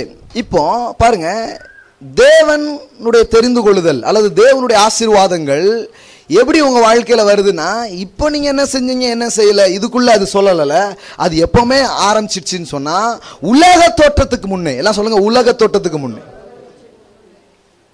ஆதாமும் வரல யாரும் வரல உலகமே கிடையாது. அப்போது கிறிஸ்துவுக்குள் அவர் உங்களை என்ன பண்ணாராம் தெரிந்து கொண்டு அப்போவுமே உங்களை ப்ளஸ் பண்ணிட்டார். அலையிலூயா ஏமேன் ஸோ எப்போ நீங்கள் ஆசீர்வதிக்கப்பட்டீங்கன்னா உலக தோற்றத்திற்கு முன்பாகவே before the foundation of earth இந்த உலகம் வந்து அஸ்திபாரம் படுவதற்கு முன்பாகவே கிறிஸ்துவுக்குள்ளாக அவர் உங்களை பார்த்து அப்போதே அவர் உங்களை என்ன பண்ணிட்டாரு? ஆசீர்வதித்துட்டார். லூயா இப்போ இந்த ஆசீர்வாதத்தை நம்புறதுக்கு நமக்கு சில தடைகள் உண்டாயிடுச்சு. நம்ம மனசில் நம்முடைய புரிந்து கொள்ளுதல்ல அதை மாற்றுறதுக்கு தான் திருப்பி கிறிஸ்துவ இந்த பூமிக்கு அனுப்பி இல்லைப்பா இனி நீ ஆசீர்வதிக்கப்படுறதுக்கு ஒரு தடையும் இல்லை. நான் எல்லாத்தையும் மாத்திட்டேன் இனி நீ வாழலாம் என்று காட்டுவதற்கு தான் கிறிஸ்துவை அனுப்பினார். ஆசீர்வதிக்கலாமா வேண்டாமாங்கிறதுக்கு இல்லை. அது ஏற்கனவே நடந்துச்சு யாக்கோவை பற்றி வேதவசனம் சொல்லும்போது தான் சொல்லுது. பிள்ளை பிறந்து நல்வினை தீவினை செய்வதற்கு முன்பாகவே மூத்தவன் இளையவனை சேவிப்பான் என்று சொல்லப்பட்டதே அப்படின்னு இருக்குது அப்படின்னா என்னன்னா இந்த பிளஸ்ஸிங்கிறது கடவுளுடைய ஆசீர்வாதங்கிறது உங்க பர்ஃபார்மன்ஸை வச்சு அது வரல அவருடைய அன்பினாலும் கிருபையினாலும் உங்களுக்கு வருகிறது. அலையிலூயா இந்த கிருபையினாலும் அன்பினாலும் உங்களுக்கு வர்றதுனால நீங்க நிறைய நல்லா பர்ஃபார்ம் பண்றீங்க. அது வேற. அதனால தான் அதை நான் குட் ஒர்க்ஸ்னு சொல்லியிருக்கிறேன் நிறைய நேரத்தில். நம்ம சிடியில் வந்து கிருபையில் வாழ்வதும் வளர்வதும் ஒரு மெசேஜ் இருக்கும் பாருங்கள் அதில் வந்து குட் ஒர்க்ஸ் அப்படின்னு பேசியிருக்கிறேன். நீங்கள் அதில் கேட்கலாம். அதில் என்ன சொல்கிறேன்னா ரட்சிக்கப்படும்படியாக நீங்கள் எந்த நல்ல கிரியையும் செய்யலை. ஆனால் இந்த ரட்சிப்பை பெற்ற பிறகு சில நல்ல கிரியைகளை செய்கிறீங்க பிலிப்பியர் ரெண்டு பனிரெண்டு பாருங்க. ஆதலால் எனக்கு பிரியமானவர்களே நீங்கள் எப்பொழுதும் கீழ்ப்படுகிறபடியே நான் உங்களுக்கு சமீபமாக இருக்கும்போது மாத்திரமல்ல நான் அதிக தூரமாக இருக்கிற போதும் அதிக பயத்தோடும் நடுக்கத்தோடும் உங்கள் ரட்சிப்பு நிறைவேற. இங்கே என்ன போட்டிருக்கு? உங்கள் ரட்சிப்பு நிறைவேற. இப்போ நிறைய கிறிஸ்தவங்களுக்கு கேள்வி. நம்ம ரட்சிக்கப்பட்டுட்டோமா? படலையா? ஏன்னா இங்கே என்ன போட்டிருக்கு? ரட்சிப்பு நிறைவேற. அப்போ என்னெல்லாம் ஏன் செய்யணும்? இது இந்த நன்மை தீமை கணக்கு மாதிரி போயிடுச்சு. கிறிஸ்தவத்தையும் இன்னைக்கு அப்படி ஆக்கி விட்டாங்க.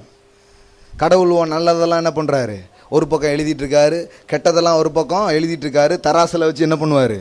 அப்படியே நெருத்து பார்ப்பாரு வெயிட்டு இது இது இது ஜாஸ்தியாக இது கம்மியான்னு பார்த்து கடைசியில் உனக்கு நரகமாக சொர்க்கமானு என்ன பண்ணுவார்? அப்படின்ட்டாங்க. இது உலகத்தில் இருக்கிற மதங்களுடைய தத்துவங்களாக வேணால் இது இருக்கலாம். ஆனால் வேதத்தின் காரியங்கள் அது கிடையாது. வேதம் என்ன சொல்லுதுங்கிறத கவனிச்சு பாருங்க. நற்செய்தி என்ன? ரட்சிப்பு நிறைவேற என்ன பண்ணுங்க? பிரயாசப்படுங்கள்னு உடனே நம்ம ஆளுகள் என்ன பண்ணிட்டாங்கன்னா இயேசு செஞ்சது மட்டும் போதாதுப்பா. நீ நிறைய காரியங்களை செஞ்சாதான் அந்த ரட்சிப்பு என்ன பண்ணும்? நிறைவேறும். அதனால் நீ அதை பண்ணு இதை பண்ணு அப்படி பண்ணு இப்படி பண்ணுன்னு ஆளாளுக்கு பேச ஆரம்பிச்சிட்டாங்க. அதனால் ஜனங்களுக்கு ரட்சிப்பின் சந்தோஷம் கூட நிறைய கிறிஸ்தவங்களுக்கு கிடையாது. தெரியுமா உங்களுக்கு? ஆ? அன்னைக்கு அந்த ரட்சிக்கப்பட்டேன்னு சொன்னாங்க பாருங்க. அன்னைக்கு மட்டும் கொஞ்சம் சந்தோஷப்பட்டாங்க. அதுக்கப்புறம் அவங்க சந்தோஷமே போய் போச்சு. ஏன்னா நீ அது மட்டும் போதுமா? நீ அதை பண்ணியா இதை பண்ணியான்னு ஆயிரம் கேள்வி கேட்டாங்க. அந்த வசனம் என்ன சொல்ல வருதுங்கிறத கவனிங்க. ரட்சிப்பு நிறைவேற பிரயாசப்படுங்கள். இங்கிலீஷ் பைபிள் வச்சிருந்தீங்கன்னா அதை வாசித்து பாருங்க. என்ன போட்டிருக்குதுன்னா ஒர்க் ஃபார் சால்வேஷன் அப்படின்னு போட்டிருக்கா. ஒர்க் அவுட் யுவர் சால்வேஷன் போட்டிருக்கா அப்படின்னு படிச்சு பாருங்க. ம். ம். ம். ம். நல்லா கவனிங்க. ஒர்க் அவுட் யுவர் இல்லை சொல்லுங்க ஒர்க் அவுட் ஒர்க் ஃபார் போடல. என்ன போட்டிருக்குது? ஒர்க் ஃபார்னு என்ன அர்த்தம்? ரட்சிப்புக்காக நீ என்ன பண்ணு? பிரயாசப்படணும்னு அர்த்தம். இங்க என்ன போட்டிருக்குன்னா ஒர்க் அவுட் யுவர் சால்வேஷன் அப்படின்னா என்ன? ஆ உனக்குள்ள நீ ரட்சிக்கப்பட்டதுனால இப்போ உனக்குள்ள நிறைய நன்மை வந்திருக்கு நிறைய குட்னஸ் வந்திருக்கு. இப்போ இது வெளியே கொண்டு வரதுக்கு என்ன பண்ணு? வேலை செய்யுன்னு போட்டிருக்கே தவிர ரட்சிப்புக்காக வேலை செய்ய முடியும் என்ன பண்ணலை? சொல்லலை. இப்போ பாருங்களேன். சரீரத்தை பெற்றுக்கொள்ள நீங்கள் முயற்சி எடுக்கிறது இல்லை. பெற்றுக்கொண்ட சரீரத்தை வளர்க்க முயற்சி எடுக்கிறீங்க. ரெண்டுக்கு வித்தியாசம் இருக்குதுங்களா? ஒர்க் ஃபார் பாடினா அவன் என்ன ஆயிடுது?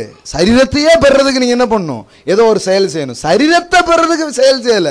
பெற்றுக்கொண்ட சரீரத்தை நல்லாக்குறதுக்கு ஒரு செயல் என்ன பண்ணலாம்? செய்யலாம். ஏமேன் ஒர்க் அவுட் எல்லாம் சொல்லுங்க ஒர்க் அவுட் ஒர்க் ஃபார்ல என்ன அர்த்தம்? ஒர்க் அவுட் அப்ப கிரியை செஞ்சு கிடைக்கல. கிருபையில தான் உங்களுக்கு கிடைச்சிருக்குது. அலையிலூயா எபேசிய ரெண்டுக்கு வாங்க. அது இன்னும் கொஞ்சம் உங்களுக்கு புரிய வைக்கும் பாருங்க. பத்து பாருங்க. ஏனெனில் நற்கிரியைகளை செய்கிறதற்கு நாம் கிறிஸ்து இயேசுக்குள் நற்கிரியை செய்கிறதற்கு தான் போடுறது தவிர நற்கிரியை செய்ததினால் அப்படின்னு என்ன பண்ணவே இல்லை?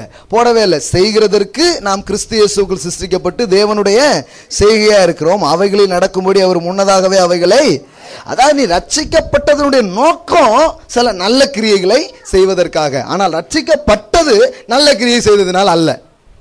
எத்தனை பேர் புரியுது? நீங்க என்னெல்லாம் நல்லது செஞ்சீங்கிறத வச்சு உங்களுக்கு ரட்சிப்பை தரல.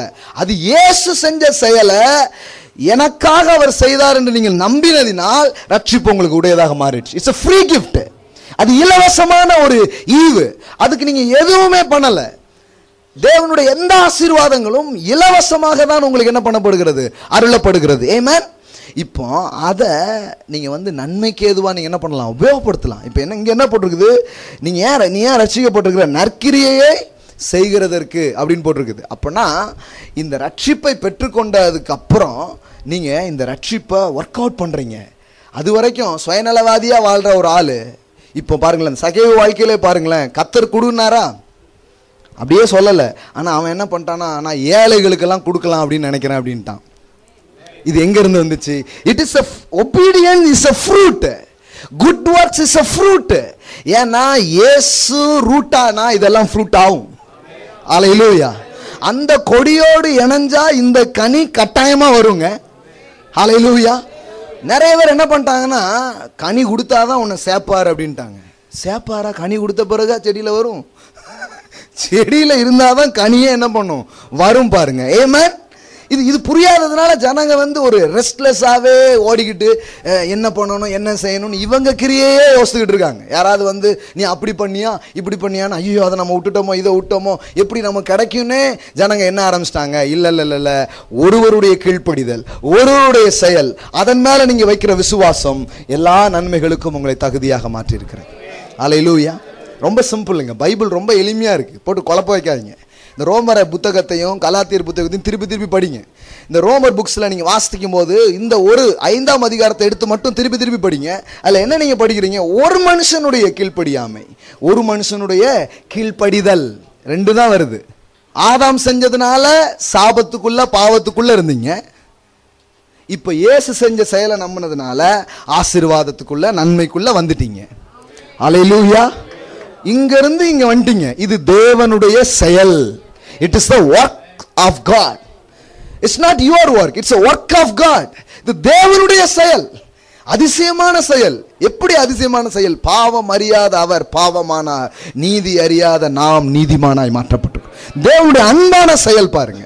ஹalleluya உங்க அக்கௌண்ட்ல நீதியை இப்போ கிரெடிட் பண்ணியிருக்கிறாரு ஹalleluya அதை வச்சு நீங்க எந்த வாக்கு தத்துவத்தையும் உரிமை கோரலாம். இட் இஸ் மைன் அப்படின்னு நீங்க சொல்லலாம். ஹalleluya தகுதி ஆயிட்டீங்க. எல்லாம் சொல்லுங்க ஐ எம் குவாலிஃபைட் ஆ என்னெல்லாம் பண்ணி எப்படியாவது நம்ம தகுதி ஆகணும். ஆண்டவரே நீ தகுதிப்படுத்தும். அப்படிங்காங்க இப்படி ராஜ்யத்துக்கு நீ தகுதிப்படுத்தும். அதுக்கு தகுதிப்படுத்து இது தகுதிப்படுத்து. இதெல்லாம் மதத்தின் முயற்சிகள் பாருங்கள் வேத வசனம் எவ்வளோ தெளிவாக சொல்லுது பாருங்கள் கொலோசையர் ஒன்றாம் அதிகாரம் பனிரெண்டாவது வசனம் பாருங்கள் ஒளியில் உள்ள பசுத்தவான்களுடைய சுதந்திரத்தில் பங்கடைவதற்கு நம்மை என்ன ஆக்கியிருக்கிறாரு?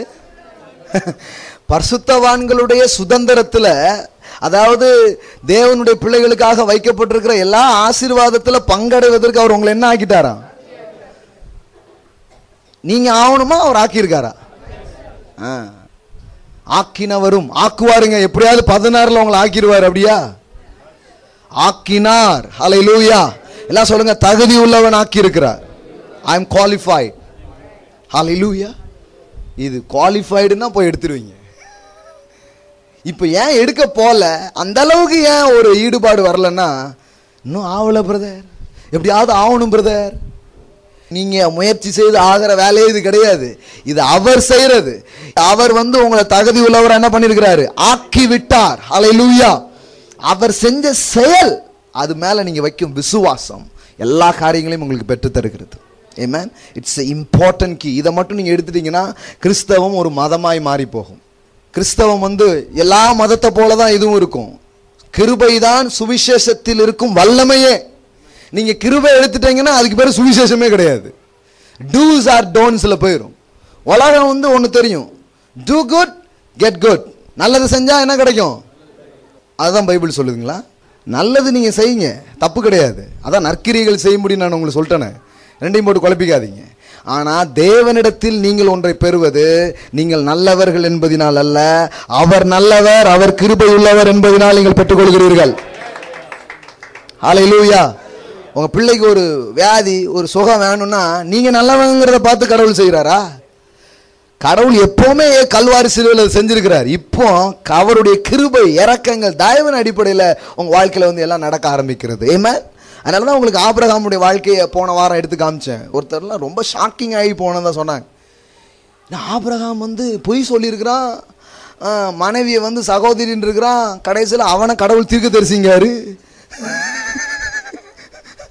கடவுள் அவனை என்ன பண்ணுறாரு அவன் வந்து ஜெபம் பண்ணா வியாதிலாம் என்ன ஆகுது சுகமாகுது? எல்லாம் ஆகுது. ஏன்னா இதுலேருந்தே ஒன்று தெரிஞ்சுக்கணும். இது வந்து ஆபிரகாமுடைய எந்த கிரியை வச்சு கடவுள் செய்யல? அவர் அழைத்தவர் உண்மை உள்ளவர் அதனால எல்லாமே நடந்துச்சு. அலையிலூயா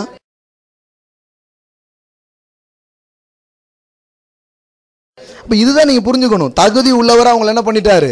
மாத்திட்டார். எல்லாம் சொல்லுங்க வாக்குத்தத்தங்கள் எல்லாம் இயேசு கிறிஸ்துவுக்குள். ஆமென்றும் ஆமென் என்றும் இருக்கிறது. ஏமேன் இப்போ எல்லா வாக்குத்தத்தும் உங்களுக்கு சொந்தமா? உரிமை பாராட்ட முடியுமா? எல்லாத்துக்கும் சொல்லலாம் இட்ஸ் மைன் ஒரு நோட் எடுங்க எழுதுங்க. உங்களுக்கு என்ன வேணுமோ அதை எடுங்க. அதனால தான் கடவுள் கேட்குறாரு நீ என்ன விரும்புகிற உனக்கு என்ன ஆசை? உன் வாழ்க்கையில் எதை பார்க்க விரும்புகிற? போன வருஷம் பேசும்போது சொன்னேன் இல்லையா எம்மட்டும் நீ பார்க்கிறாயோ அம்மட்டும் என்ன பண்ணுவ? சுதந்திரிப்ப. எம்மட்டும் நடந்து திரிகிறாயோ அம்மட்டும் உன்னுடையதாக மாறும். உனக்கு என்ன வேணும்? நீங்க எதை உங்க வாழ்க்கையில பார்க்க விரும்புறீங்க? எதுக்காக கடவுளுடைய வாக்கு தத்தங்களையும் வல்லமையும் உங்க வாழ்க்கையில நீங்க நம்ப தயாரா இருக்கிறீங்க? அந்த காரியங்களை எடுங்க. பொருளாதாரம் சரியில்லைன்னா அதுக்கான காரியங்களை பாருங்கள் அதுக்கான வாக்குறுதிகளை எடுத்து சொல்லுங்க. நான் கையிடும் வேலையிலெல்லாம் தேவன் எனக்கு ஆசீர்வாதங்களை கட்டளையிடுவார். நான் பார்ப்பேன். அப்படி சொல்லுங்க. சொன்னீங்கன்னா பார்ப்பீங்க. ஆலை இலுவையா உங்கள் கல்வியில் சொல்லலாம். கத்தர் ஞானத்தில் எழுத்தில் சகல காரியங்களும் எனக்கு புத்தியை அவர் தந்தருளுகிறார். அப்படி சொல்லுங்கள் அங்கே வந்து உங்கள் உங்கள் கல்வியில் ஒரு ஞானம் என்ன பண்ண ஆரம்பிக்கும்? வேலை செய்ய ஆரம்பிக்கும் பாருங்கள் அப்போ எல்லா வாக்குத்தத்தையும் உரிமை போராட்டலாம். தயங்கி நிற்க வேண்டியதில்லை. தைரியமாய் வந்து நாம் எடுத்துக்கொள்ள முடியும். ஏமே ஆண்டவரே இயேசு வந்ததே இந்த தயக்கத்தை போவதுக்கு தான் வந்தார். ஏன்பா தள்ளி நிற்க கிட்ட வான்னு கூப்பிடுறதுக்கு தான் அவர் வந்தார். கிருபாசனத்தண்டைக்கு தைரியமாய் வாருங்கள். வேதவசனம் அப்படிதான் சொல்லுது. ஆனால் மதம் என்ன பண்ணிட்டுன்னா உனக்கு நீ வந்து அப்படி தைரியமாக வரக்கூடாது. உனக்கு நீ நடுங்கி பயந்து இப்படி தான் வரணும் அப்படின்ட்டாங்க. இல்லை இல்லை இல்லை தைரியமாக வா. கத்தர் உனக்கு உனக்காக கத்தர் இருக்கிறார். உனக்கு உதவி செய்கிறதுக்கு அவர் இருக்கிறார்னு வேதவசனம் சொல்லுது. ஏமேன் ஆலை லூயா இந்த வாக்குத்தத்தங்கள் எல்லாம் இப்படிப்பட்ட விதத்தில் தான் நிறைவேறுங்கிறத நாம் புரிந்து கொள்ள வேண்டும். நம்முடைய பங்களிப்பு அல்லது நம்முடைய செயல் அப்படின்னு சொன்னீங்கன்னா இந்த மாதிரி காரியங்கள்லாம் கொஞ்சம் தெரிஞ்சுக்கணும். இதெல்லாம் கொஞ்சம் கவனிக்கணும். அவ்வளோதான் நீங்கள் ஏதோ அதுக்காக ஒரு பெரிய நடவடிக்கை செய்கிறதுனால அது என்ன பண்ணலை உங்களுக்கு? கிடைக்கல. பல ஏற்பாட்டில் ஒரு காரியத்தை உங்களுக்கு காமிச்சு முடிக்கிறேன். யோசுவா பதினெட்டாம் அதிகாரத்துக்கு வாங்க. தேவன் வாக்கு பண்ணின அந்த தேசத்துக்குள்ளே இப்போ நுழைஞ்சிட்டாங்க. ஜோஷுவாவும் அவன் பின்னாடி வந்த அந்த சந்ததியும் என்ன பண்ணிட்டாங்க? உள்ளே போயிட்டாங்க. இப்போ உள்ளே போனதுக்கப்புறம் என்ன நடந்துச்சு அப்படிங்கிறத பற்றி இந்த பதினெட்டாம் அதிகாரத்தில் வருது பாருங்க. ஒன்றுலேருந்து பாருங்கள் இஸ்ரவேல் புத்திரரின் சபையெல்லாம் சீலோவிலே கூடி அங்கே ஆசரிப்பு கூடாரத்தை நிறுத்தினார்கள். தேசம் அவர்கள் சந்தோஷமா இருக்குதா படிக்கும்போது? தேசம் அவர்கள் வசமாயிற்று. அப்புறம் இஸ்ரவேல் புத்திரரில் தங்கள் சுதந்திரத்தை இன்னும் பங்கிட்டு கொள்ளாத ஏழு கோத்திரங்கள் உள்ள போனதுக்கு அப்புறமும் தங்களுக்குரிய அந்த சுதந்திரத்தை எடுத்துக்காத கூட்டம் எத்தனை பேர் இருந்தாங்களாம்? பன்னெண்டுல கிட்டத்தட்ட பாதிக்கு மேல என்ன பண்ணவே இல்லை. எடுத்துக்கவே இல்லை. இன்னைக்கு கிறிஸ்தவங்க கணக்கு போட்டீங்கன்னா ஒன்றாவது எடுத்துச்சானே தெரில ஆனால் இங்கே பார்த்தீங்கன்னா யா- உள்ளே போயிட்டாங்க. ஆனால் என்னவே இல்லை. ஏழு கோத்திரங்கள் அதை பங்கிட்டுக் கொள்ளவே இல்லை. இப்ப மூணாவது வசனம் பாருங்க. இப்ப ஜோஷுவா எழுந்து நின்று பேசுறார். ஆகையால் ஜோஷுவா இஸ்ரவேல் புத்திரர் நோக்கி உங்கள் பிதாக்களின் தேவனாகிய கத்து உங்களுக்கு கொடுத்த தேசத்தை சுதந்திரித்துக் கொள்ள போகிறதற்கு நீங்கள் எந்த மட்டும் அசதியா இருப்பீர்கள் ஹalleluya ஐயோ இதுக்காகத்தானே இவ்வளவு பண்ணி கொண்டு வந்திருக்காரு நீ எடுத்துக்காம ஏன் உட்கார்ந்துக்க? அசதியா இருக்காத எடுத்துக்கோ அப்படிங்கிறார். ஹalleluya இவங்க பாருங்க இவங்க வந்து அவர் என்ன அசதின்னு தெரில அதை பற்றி ஒரு விழிப்புணர்வே இல்லை. சிலருக்கு பாருங்க இந்த மாதிரிலாம் பேசினாலே அவங்களுக்கு கஷ்டமாயிடுது. அதனால உள்ள வரமாட்டுக்கு. கடவுள் தராததுனால இல்லை. இவங்களுக்குள்ள ஒரு எதிர்ப்புணர்வு இருக்கு. அதனால அது உள்ள வரமாட்டுக்கு. அதெல்லாம் கொஞ்சம் விட்டுட்டு வாக்குத்தத்தங்களை குறித்து அசதியா இராதிருங்கள். அதை குறித்து ரொம்ப விழிப்பா இருங்க. இதெல்லாம் என்னுடையதுங்கிறதுல உரிமையா இருங்க. அப்போ உங்க வாழ்க்கையில வந்து நடக்கிறத நீங்க பாப்பீங்க அப்படின்னு சொல்றாரு. இல்லையா எல்லாம் சொல்லுங்க அசதியா இராதிருங்க புதிய ஏற்பாட்டிலையும் இதே காரியத்தை சொல்றதை நம்ம பார்க்கலாம். எப்ரேயர் ஆறாம் அதிகாரம் பதினோராவது வசனம் பாருங்க. அங்கே என்ன சொல்லியிருப்பாருங்க? நீங்கள் அசதியா இராமல் வாக்குத்தத்தமான பாருங்க நீங்கள் அசதியா இராமல் வாக்குத்தத்தமான ஆசீர்வாதங்களை விசுவாசத்தினாலும் நீடிய பொறுமையினாலும் சுதந்திரித்துக் கொள்கிறவர்களை.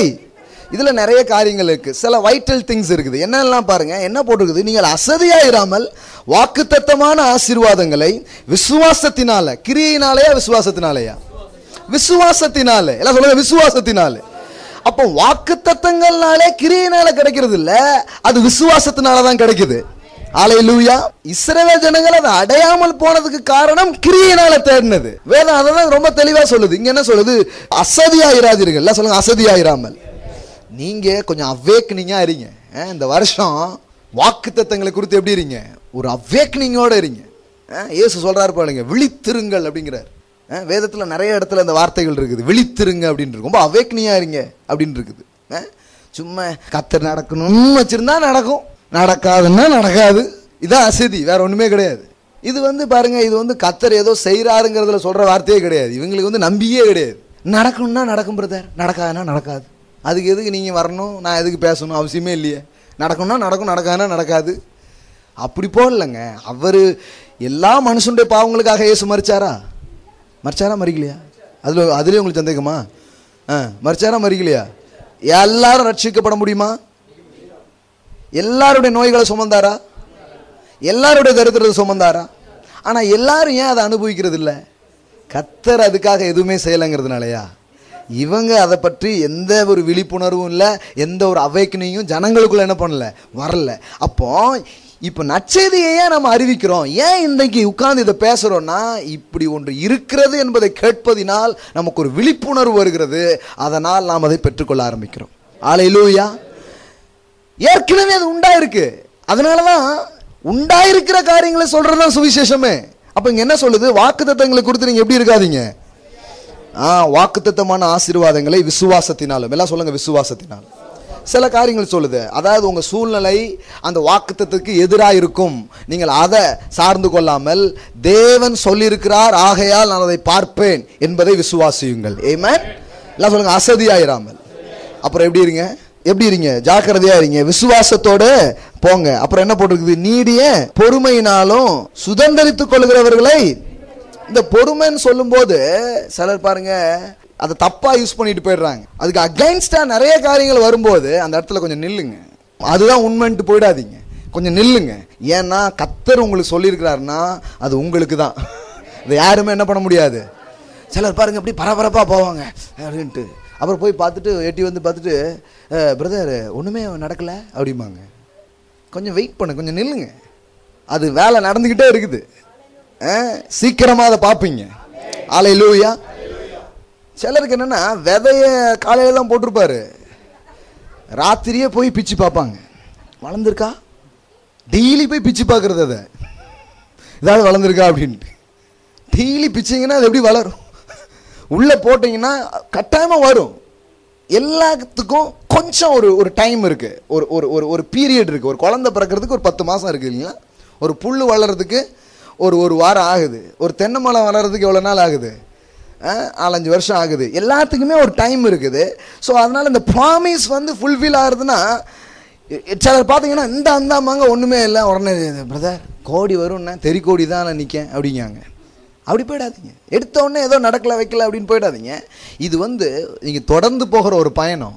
உங்களை விட அவர் வார்த்தையை நிறைவேற்றுவதில் அவர் தீவிரமாக இருக்கிறார். அவர் என்ன சொல்கிறாரு என் வார்த்தையை நான் தீவிரமா வெறுமனே இல்ல தீவிரமா நிறைவேற்றுவேன் இருக்கிறார் அலையிலூயா கத்தர் ரொம்ப தீவிரமா இருக்கிறார் உங்களை விட. ஏன்னா நீங்க வாழ்ந்தாதானே அவருக்கு பெருமை. அஹ்? நீங்க ஓரமா இருந்தீங்கன்னா அவருக்கு ஒரு பெருமையும் கிடையாது. அதனால அவர் நாமத்து நிமித்தமாவது ஏதாவது ஒன்று செய்வார். அலையிலூயா கட்டாயமே செய்வார். செஞ்சுட்டு ஆகணும் வேற வழி இல்லை. வேற எப்படி உலகத்துக்கு சொல்ல முடியும்? சொல்லவே முடியாது. அதனால கட்டாயமா வாழ வச்சு தீருவார். ஆனால் கொஞ்சம் சில காரியங்கள் கொஞ்சம் லேசாக தாமதிச்சோடனே உடனே விட்டுருது அது. அப்படி கிடையாது. இல்லை இல்லை இல்லை. தாமதிச்சாலும் அது வரும். ஒன்றாந்தேதி அன்றைக்கி அதான் நான் உங்களுக்கு சொன்னேன் இல்லையா? அது குறித்த காலத்துக்கு வைக்கப்பட்டுக்கு அது வரும். நிச்சயமாக நீங்கள் பார்ப்பீங்க அடையாம போக போகிறதில்ல தன் காலத்தில் தன் கனியை தந்து. அப்படி போட்டிருக்கு பாருங்க. விதைப்பு காலம்னு ஒன்று இருக்குன்னா அறுவடை காலம்னு ஒன்று நிச்சயமாக இருக்கு. ஜஸ்ட் வெயிட் கொஞ்சம் வெயிட் பண்ணுங்க. சீக்கிரமாக பார்ப்பீங்க ஆலை லூயா அதுதான் சொல்லுது. பொறுமையாக இருங்க. அடுத்தால் என்ன போட்டிருக்குது? சுதந்திரித்துக் கொள்கிறவர்களை யாரை யாரை கவனிக்கணும்? இப்படிதாயா நான் போனேன் எனக்கு கிடைக்கவே இல்லை. இப்படிதாயா நான் பண்ணேன் எனக்கு வரவே இல்லை. அந்த ஆளை விட்டு ஓடி வந்துருன்றிருக்கு. யாரை கவனிக்கணும்? சுதந்திரித்துக் கொள்கிறவர்களை பின்பற்று. வெற்றி பற்றி பேசும்போது உங்களுக்கு சொன்ன ஞாபகம் இருக்குதா? அந்த ஒரு வசனத்தை வச்சு ஒரு நாள் பேசினேன். ஞாபகம் இருக்குதா? வெற்றி பெறதுக்கு ஒரு குறுக்கு வழி. வெற்றி பெற்றவர்களை கவனிப்பது. அலையிலூயா ஏற்கனவே ஜெயிச்சவங்களை கொஞ்சம் கவனிங்க. ஆபிரஹாம் சுதந்திரித்தவனாக இருந்தான். நீங்கள் அதெல்லாம் விட்டுட்டு வேற லாசரு கதை எடுத்து படிச்சுட்டு கூடாது. லாசரு நாய் நக்கி அவன் வந்து ஒன்றுமே இல்லாமல் செத்தானே. அவன் சுதந்திரிக்கிறவன் கிடையாது. சுதந்திரித்துக் கொள்ளுகிறவர்களை தான் பின்பற்றணும். வாழ்க்கையிலையும் கூட சிலர் பாருங்கள் எப்போ பார்த்தாலும் அவன் அப்படி ஆகிட்டு இவனுக்கு இப்படி ஆகிட்டு இது எனக்கு அந்த கதை தேவையில்லைங்க. நூறு பேர் தோத்த கதை எனக்கு தேவையில்லை. யாராவது ஒருத்தங்க ஜெயிச்சாங்க அந்த கதை சொல்லுங்கள் ஏன்னா நான் ஜெயிக்கிற சைடில் இருக்க போகிறேன் இன்னொன்று நான் நான் என்ன முடிவு கொண்டேன்னா நூறு பேர் தோத்துருந்தாலும் பரவாயில்ல வெற்றி எனக்கு நிச்சயம். ஆலையிலூயா எதுக்கு நான் வெளியில் போய் தேடிக்கிட்டு நம்மள மாதிரியா வச்சுட்டு போட்டுமே? ஹalleluya. எப்படி போட்டிருப்பாருங்க? பாருங்க சுதந்திரித்துக் கொள்ளுகிறவர்களை பின்பற்றுகிறவர்களா இருந்து சும்மா யாரெல்லாம் அதனால தான் அந்த லா ஃபெலோஷிப் பேசினேன்னா அன்னைக்கு ஐக்கியத்தின் பிரமாணம் பற்றி பேசினேன்னா வெள்ளிக்கிழமை பேசும்போது. ஏற்கனவே அந்த மாதிரி விசுவாச ஆவியும் சாதிக்கிற உணர்வும் அப்படி நம்பிக்கையாக போகிறவங்களோட நீங்கள் சேர்ந்து இருக்கும்போது தான் உங்கள் நம்பிக்கை இன்னும் என்ன பண்ணும்? வளரும். சும்மா அந்த மாதிரி இல்லாத ஆள்கிட்ட போய் நீங்கள் சொன்னீங்கன்னா அது புஷ்ன்னு இறங்கி போயிடும் பாருங்க. அதனால தான் சுதந்திரித்துக் கொள்கிறவர்களை பின்பற்றுகிறவர்களாய் இருந்து உங்களுக்கு நம்பிக்கையின் பூரண நிச்சயம் உண்டாகும்படி நீங்கள் யாவரும் முடிவு பரியந்தம் அப்படியே ஜாக்கிரதை காண்பிக்க வேண்டும் என்று ஆசையாக இருக்கிறோம். ஆபிரஹாமுக்கு தேவன் வாக்குத்தத்தம் பண்ணின போது ஆணையிடும்படி தம்மில் பெரியவர் ஒருவரும் இல்லாதபடினால் தமது பேரிலே தானே வாக்குத்தத்தங்கிறது வெறும் வாக்குத்தத்தம் இல்லை. அது எப்படிப்பட்டதாக இருக்குன்னா ஆணையிட்டு கொடுத்துருக்கிறார். யார் பேரில்? தமது பேர்லேயே என்ன பண்ணிட்டாராம்? இப்போ நம்ம ஊரில் ஏதாவது ஒன்று சொன்னால் நம்மளன்னா என்ன கேட்குறாங்க மதர் ப்ராமிஸ் கேட்குறாங்க இல்லையா? அம்மா சத்தியம் பண்ணுங்க. இப்போ அப்படி இல்லை. இப்போ வந்து சார் சொன்ன மாதிரி தான் சத்தியெல்லாம் இருக்கட்டும். எழுதித்தா அப்படின்றதாங்க. ஆனால் ஒரு டைமில் இந்த ப்ராமிஸுங்கிறது எப்படி இருந்தது? சிலர் சொன்னாலே மாற மாட்டாங்கிற மாதிரி இருந்தது. அதுக்கப்புறம் சத்தியம் பண்ணிட்டு என்ன பண்ண மாட்டாங்க? இப்போ ஆபிரகாம் காலமும் அப்படிதான். அதனால் கடவுள் வந்து நிறைய சொல்லியிருக்காரு. இவன் முழிச்சுக்கிட்டே இருக்கான். ஆண்டவர் பண்ணுறாரு என் மேலே சத்தியம் விட்டு சொல்கிறேன் அப்படின்ட்டாரு. ஆண்டவர் வந்து சத்தியம் பண்ண வேண்டிய அவசியமே கிடையாது. அவர் சொன்னாலே போதும். ஆனால் ஆபிரகாமுக்கு நம்பிக்கை வர்றதுக்காக மனுஷனுடைய லாங்குவேஜ்லேயே அவர் பேசுகிறாரு என் மேலே சத்தியமாக நீ நல்லா இருப்பப்பா அப்படின்ட்டாரு. ஆண்டோட இருதயம் உங்களால் பார்க்க முடியுதுங்களா? உங்களுக்கு நம்பிக்கை வர்றதுக்காக உங்கள் லெவலுக்கே இறங்கி வந்துடுறாரு. இவனுக்கு எப்படி நம்பிக்கை ஊட்டுறது? நூறு வயசு ஆகி போச்சு இனிமே சந்ததி வரும் அது வரும்னா நம்ப மாட்டேங்கான் என் மேலே ஆனப்பா. இது நிறைவேறலன்னா நான் இல்லைன்னே நினச்சிக்கோ அப்படின்ட்டு. அதான் உடன்படிக்கை. தமது பேரில் அவர் என்ன பண்ணாராம்? ஆணையிட்டு நிச்சயமாகவே பதினாலு நிச்சயமாகவே எல்லாம் சொல்லுங்க நிச்சயமாகவே. ஒருவேளையா நிச்சயமா? நிச்சயமாகவே நான் உன்னை ஆசீர்வதிக்கவே ஆசீர்வதித்து உன்னை பெருகவே பெருக பண்ணுவேன். அந்தபடியே அவன் பொறுமையாய் காத்திருந்து வாக்குத்தத்தம் பண்ணப்பட்டதை பெற்றான். ஹalleluya உங்க முடிவும் அப்படிதான் இருக்கும். அந்தபடியே அவர்கள் பொறுமையா இருந்து வாக்குத்தத்தம் பண்ணப்பட்டதை பெற்றார்கள். ஹalleluya இவங்க வந்து அப்படியே- சுத்திக்கிட்டே போன கூட்டம் இல்ல. சுதந்திரிச்ச கூட்டம். பார்த்தாங்க இவங்க. அப்ப பாருங்க நடக்கு பாருங்க. இதெல்லாம் தான் சில காரியங்களை தவிர உனக்கு உரிமையே இல்லை. சிலர்லாம் வாக்குத்தத்தை பத்தி பேசினாலே அதுக்கப்புறம் வாக்குத்தத்து மேலே விருப்பமே வராது. எந்த லெவலுக்கு பேசியிருக்காங்கன்னா இப்படி எடுப்பாங்க. இப்ப படித்தோம்ல அந்த வாக்குத்தத்தம் இது உங்களுக்கு கிடையாது. இது யூதர்களுக்கு. அடுத்தால எடுப்பாங்க. இது இது வந்து வரப்போகிற ஆயிரம் வருட அரசாட்சியில் அப்படிம்பாங்க. இப்படி அப்படி இப்படின்னு போட்டா ஐயா எனக்கு ஏதாவது இருக்குதான்னா அட்டை கூட கிடையாதுன்ட்டாங்க. அட்டையில என்ன போட்டிருக்கு? பரிசுத்த வேதாகமம். உன்ட இருக்கா? இல்லை போட்டு. கிட்டே வர விடாமல் பண்ணிட்டாங்க. இது அப்படி கிடையாது. இயேசு வந்து பண்ணது அப்படி இல்லை. யாருமே எட்ட நிக்க முடியாது. யாரு வேணாலும் வந்து எடுத்துக்கலாம். ஆலை லூயா இது ஏன் ஆபிரகாம் பெற்றுக்கொண்டான்? இப்படி தான் பெற்றுக்கொண்டார்கள் போட்டிருக்குது. ஒரு வசனம் வாக்குத்தத்தங்கள் எப்படி நிஜமாகிறது? எப்ரேயர் அதே எப்ரேயர் தான். பத்து பாருங்க. உங்களுடைய ரெஸ்பான்ஸ் தான் ஆண்டவருக்கு தேவை. வேற ஒன்றுமே தேவையில்ல. எப்ரேயர் பத்து இருபத்தி மூன்று பாருங்க.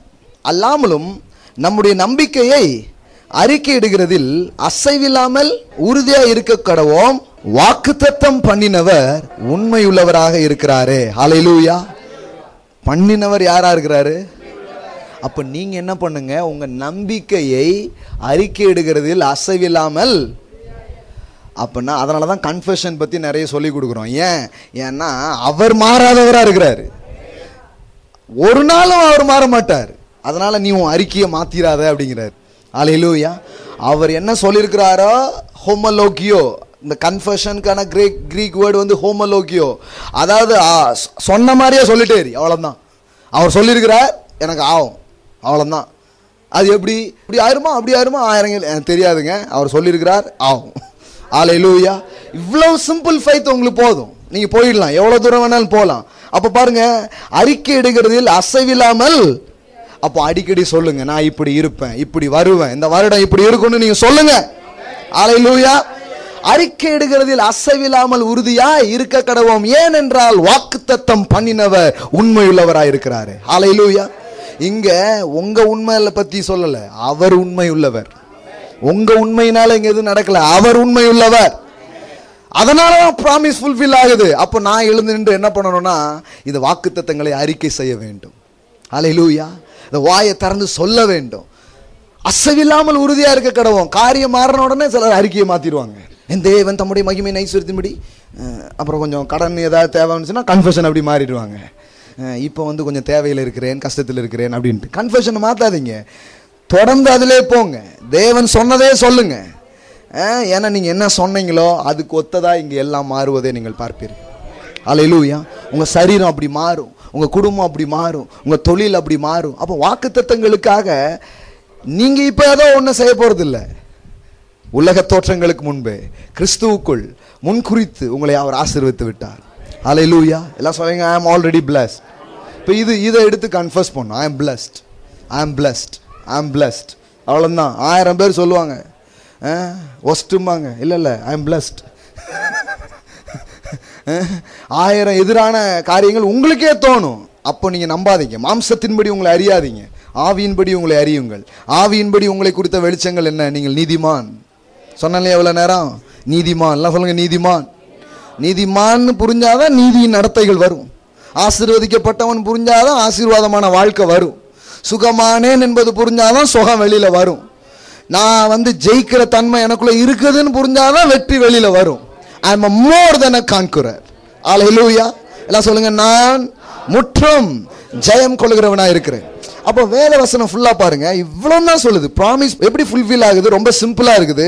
தேவன் சொன்னதை நீங்கள் அறிக்கை செய்கிறதுல எப்படி இருங்க? உறுதியாக இருங்க. அது அப்படியே உங்கள் வாழ்க்கையில் நடக்க ஆரம்பிக்கும் பாருங்க. இவ்வளவுதான். வேற ஒன்றும் பெருசான காரியங்கள் சொல்லலை. இஸ்ரேல் ஜனங்களுக்கு இந்த காரியங்கள் அவங்களுக்கு விளங்கல. புரியாமல் போயிடுச்சு. அசதியாக இருக்கிறாங்க. நீங்கள் அப்படி இராதீங்க.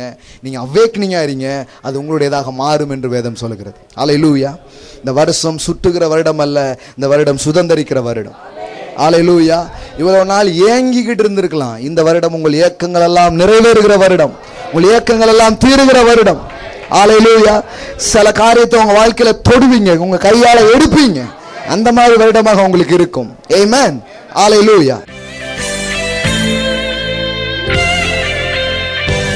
rock Jesus royal family church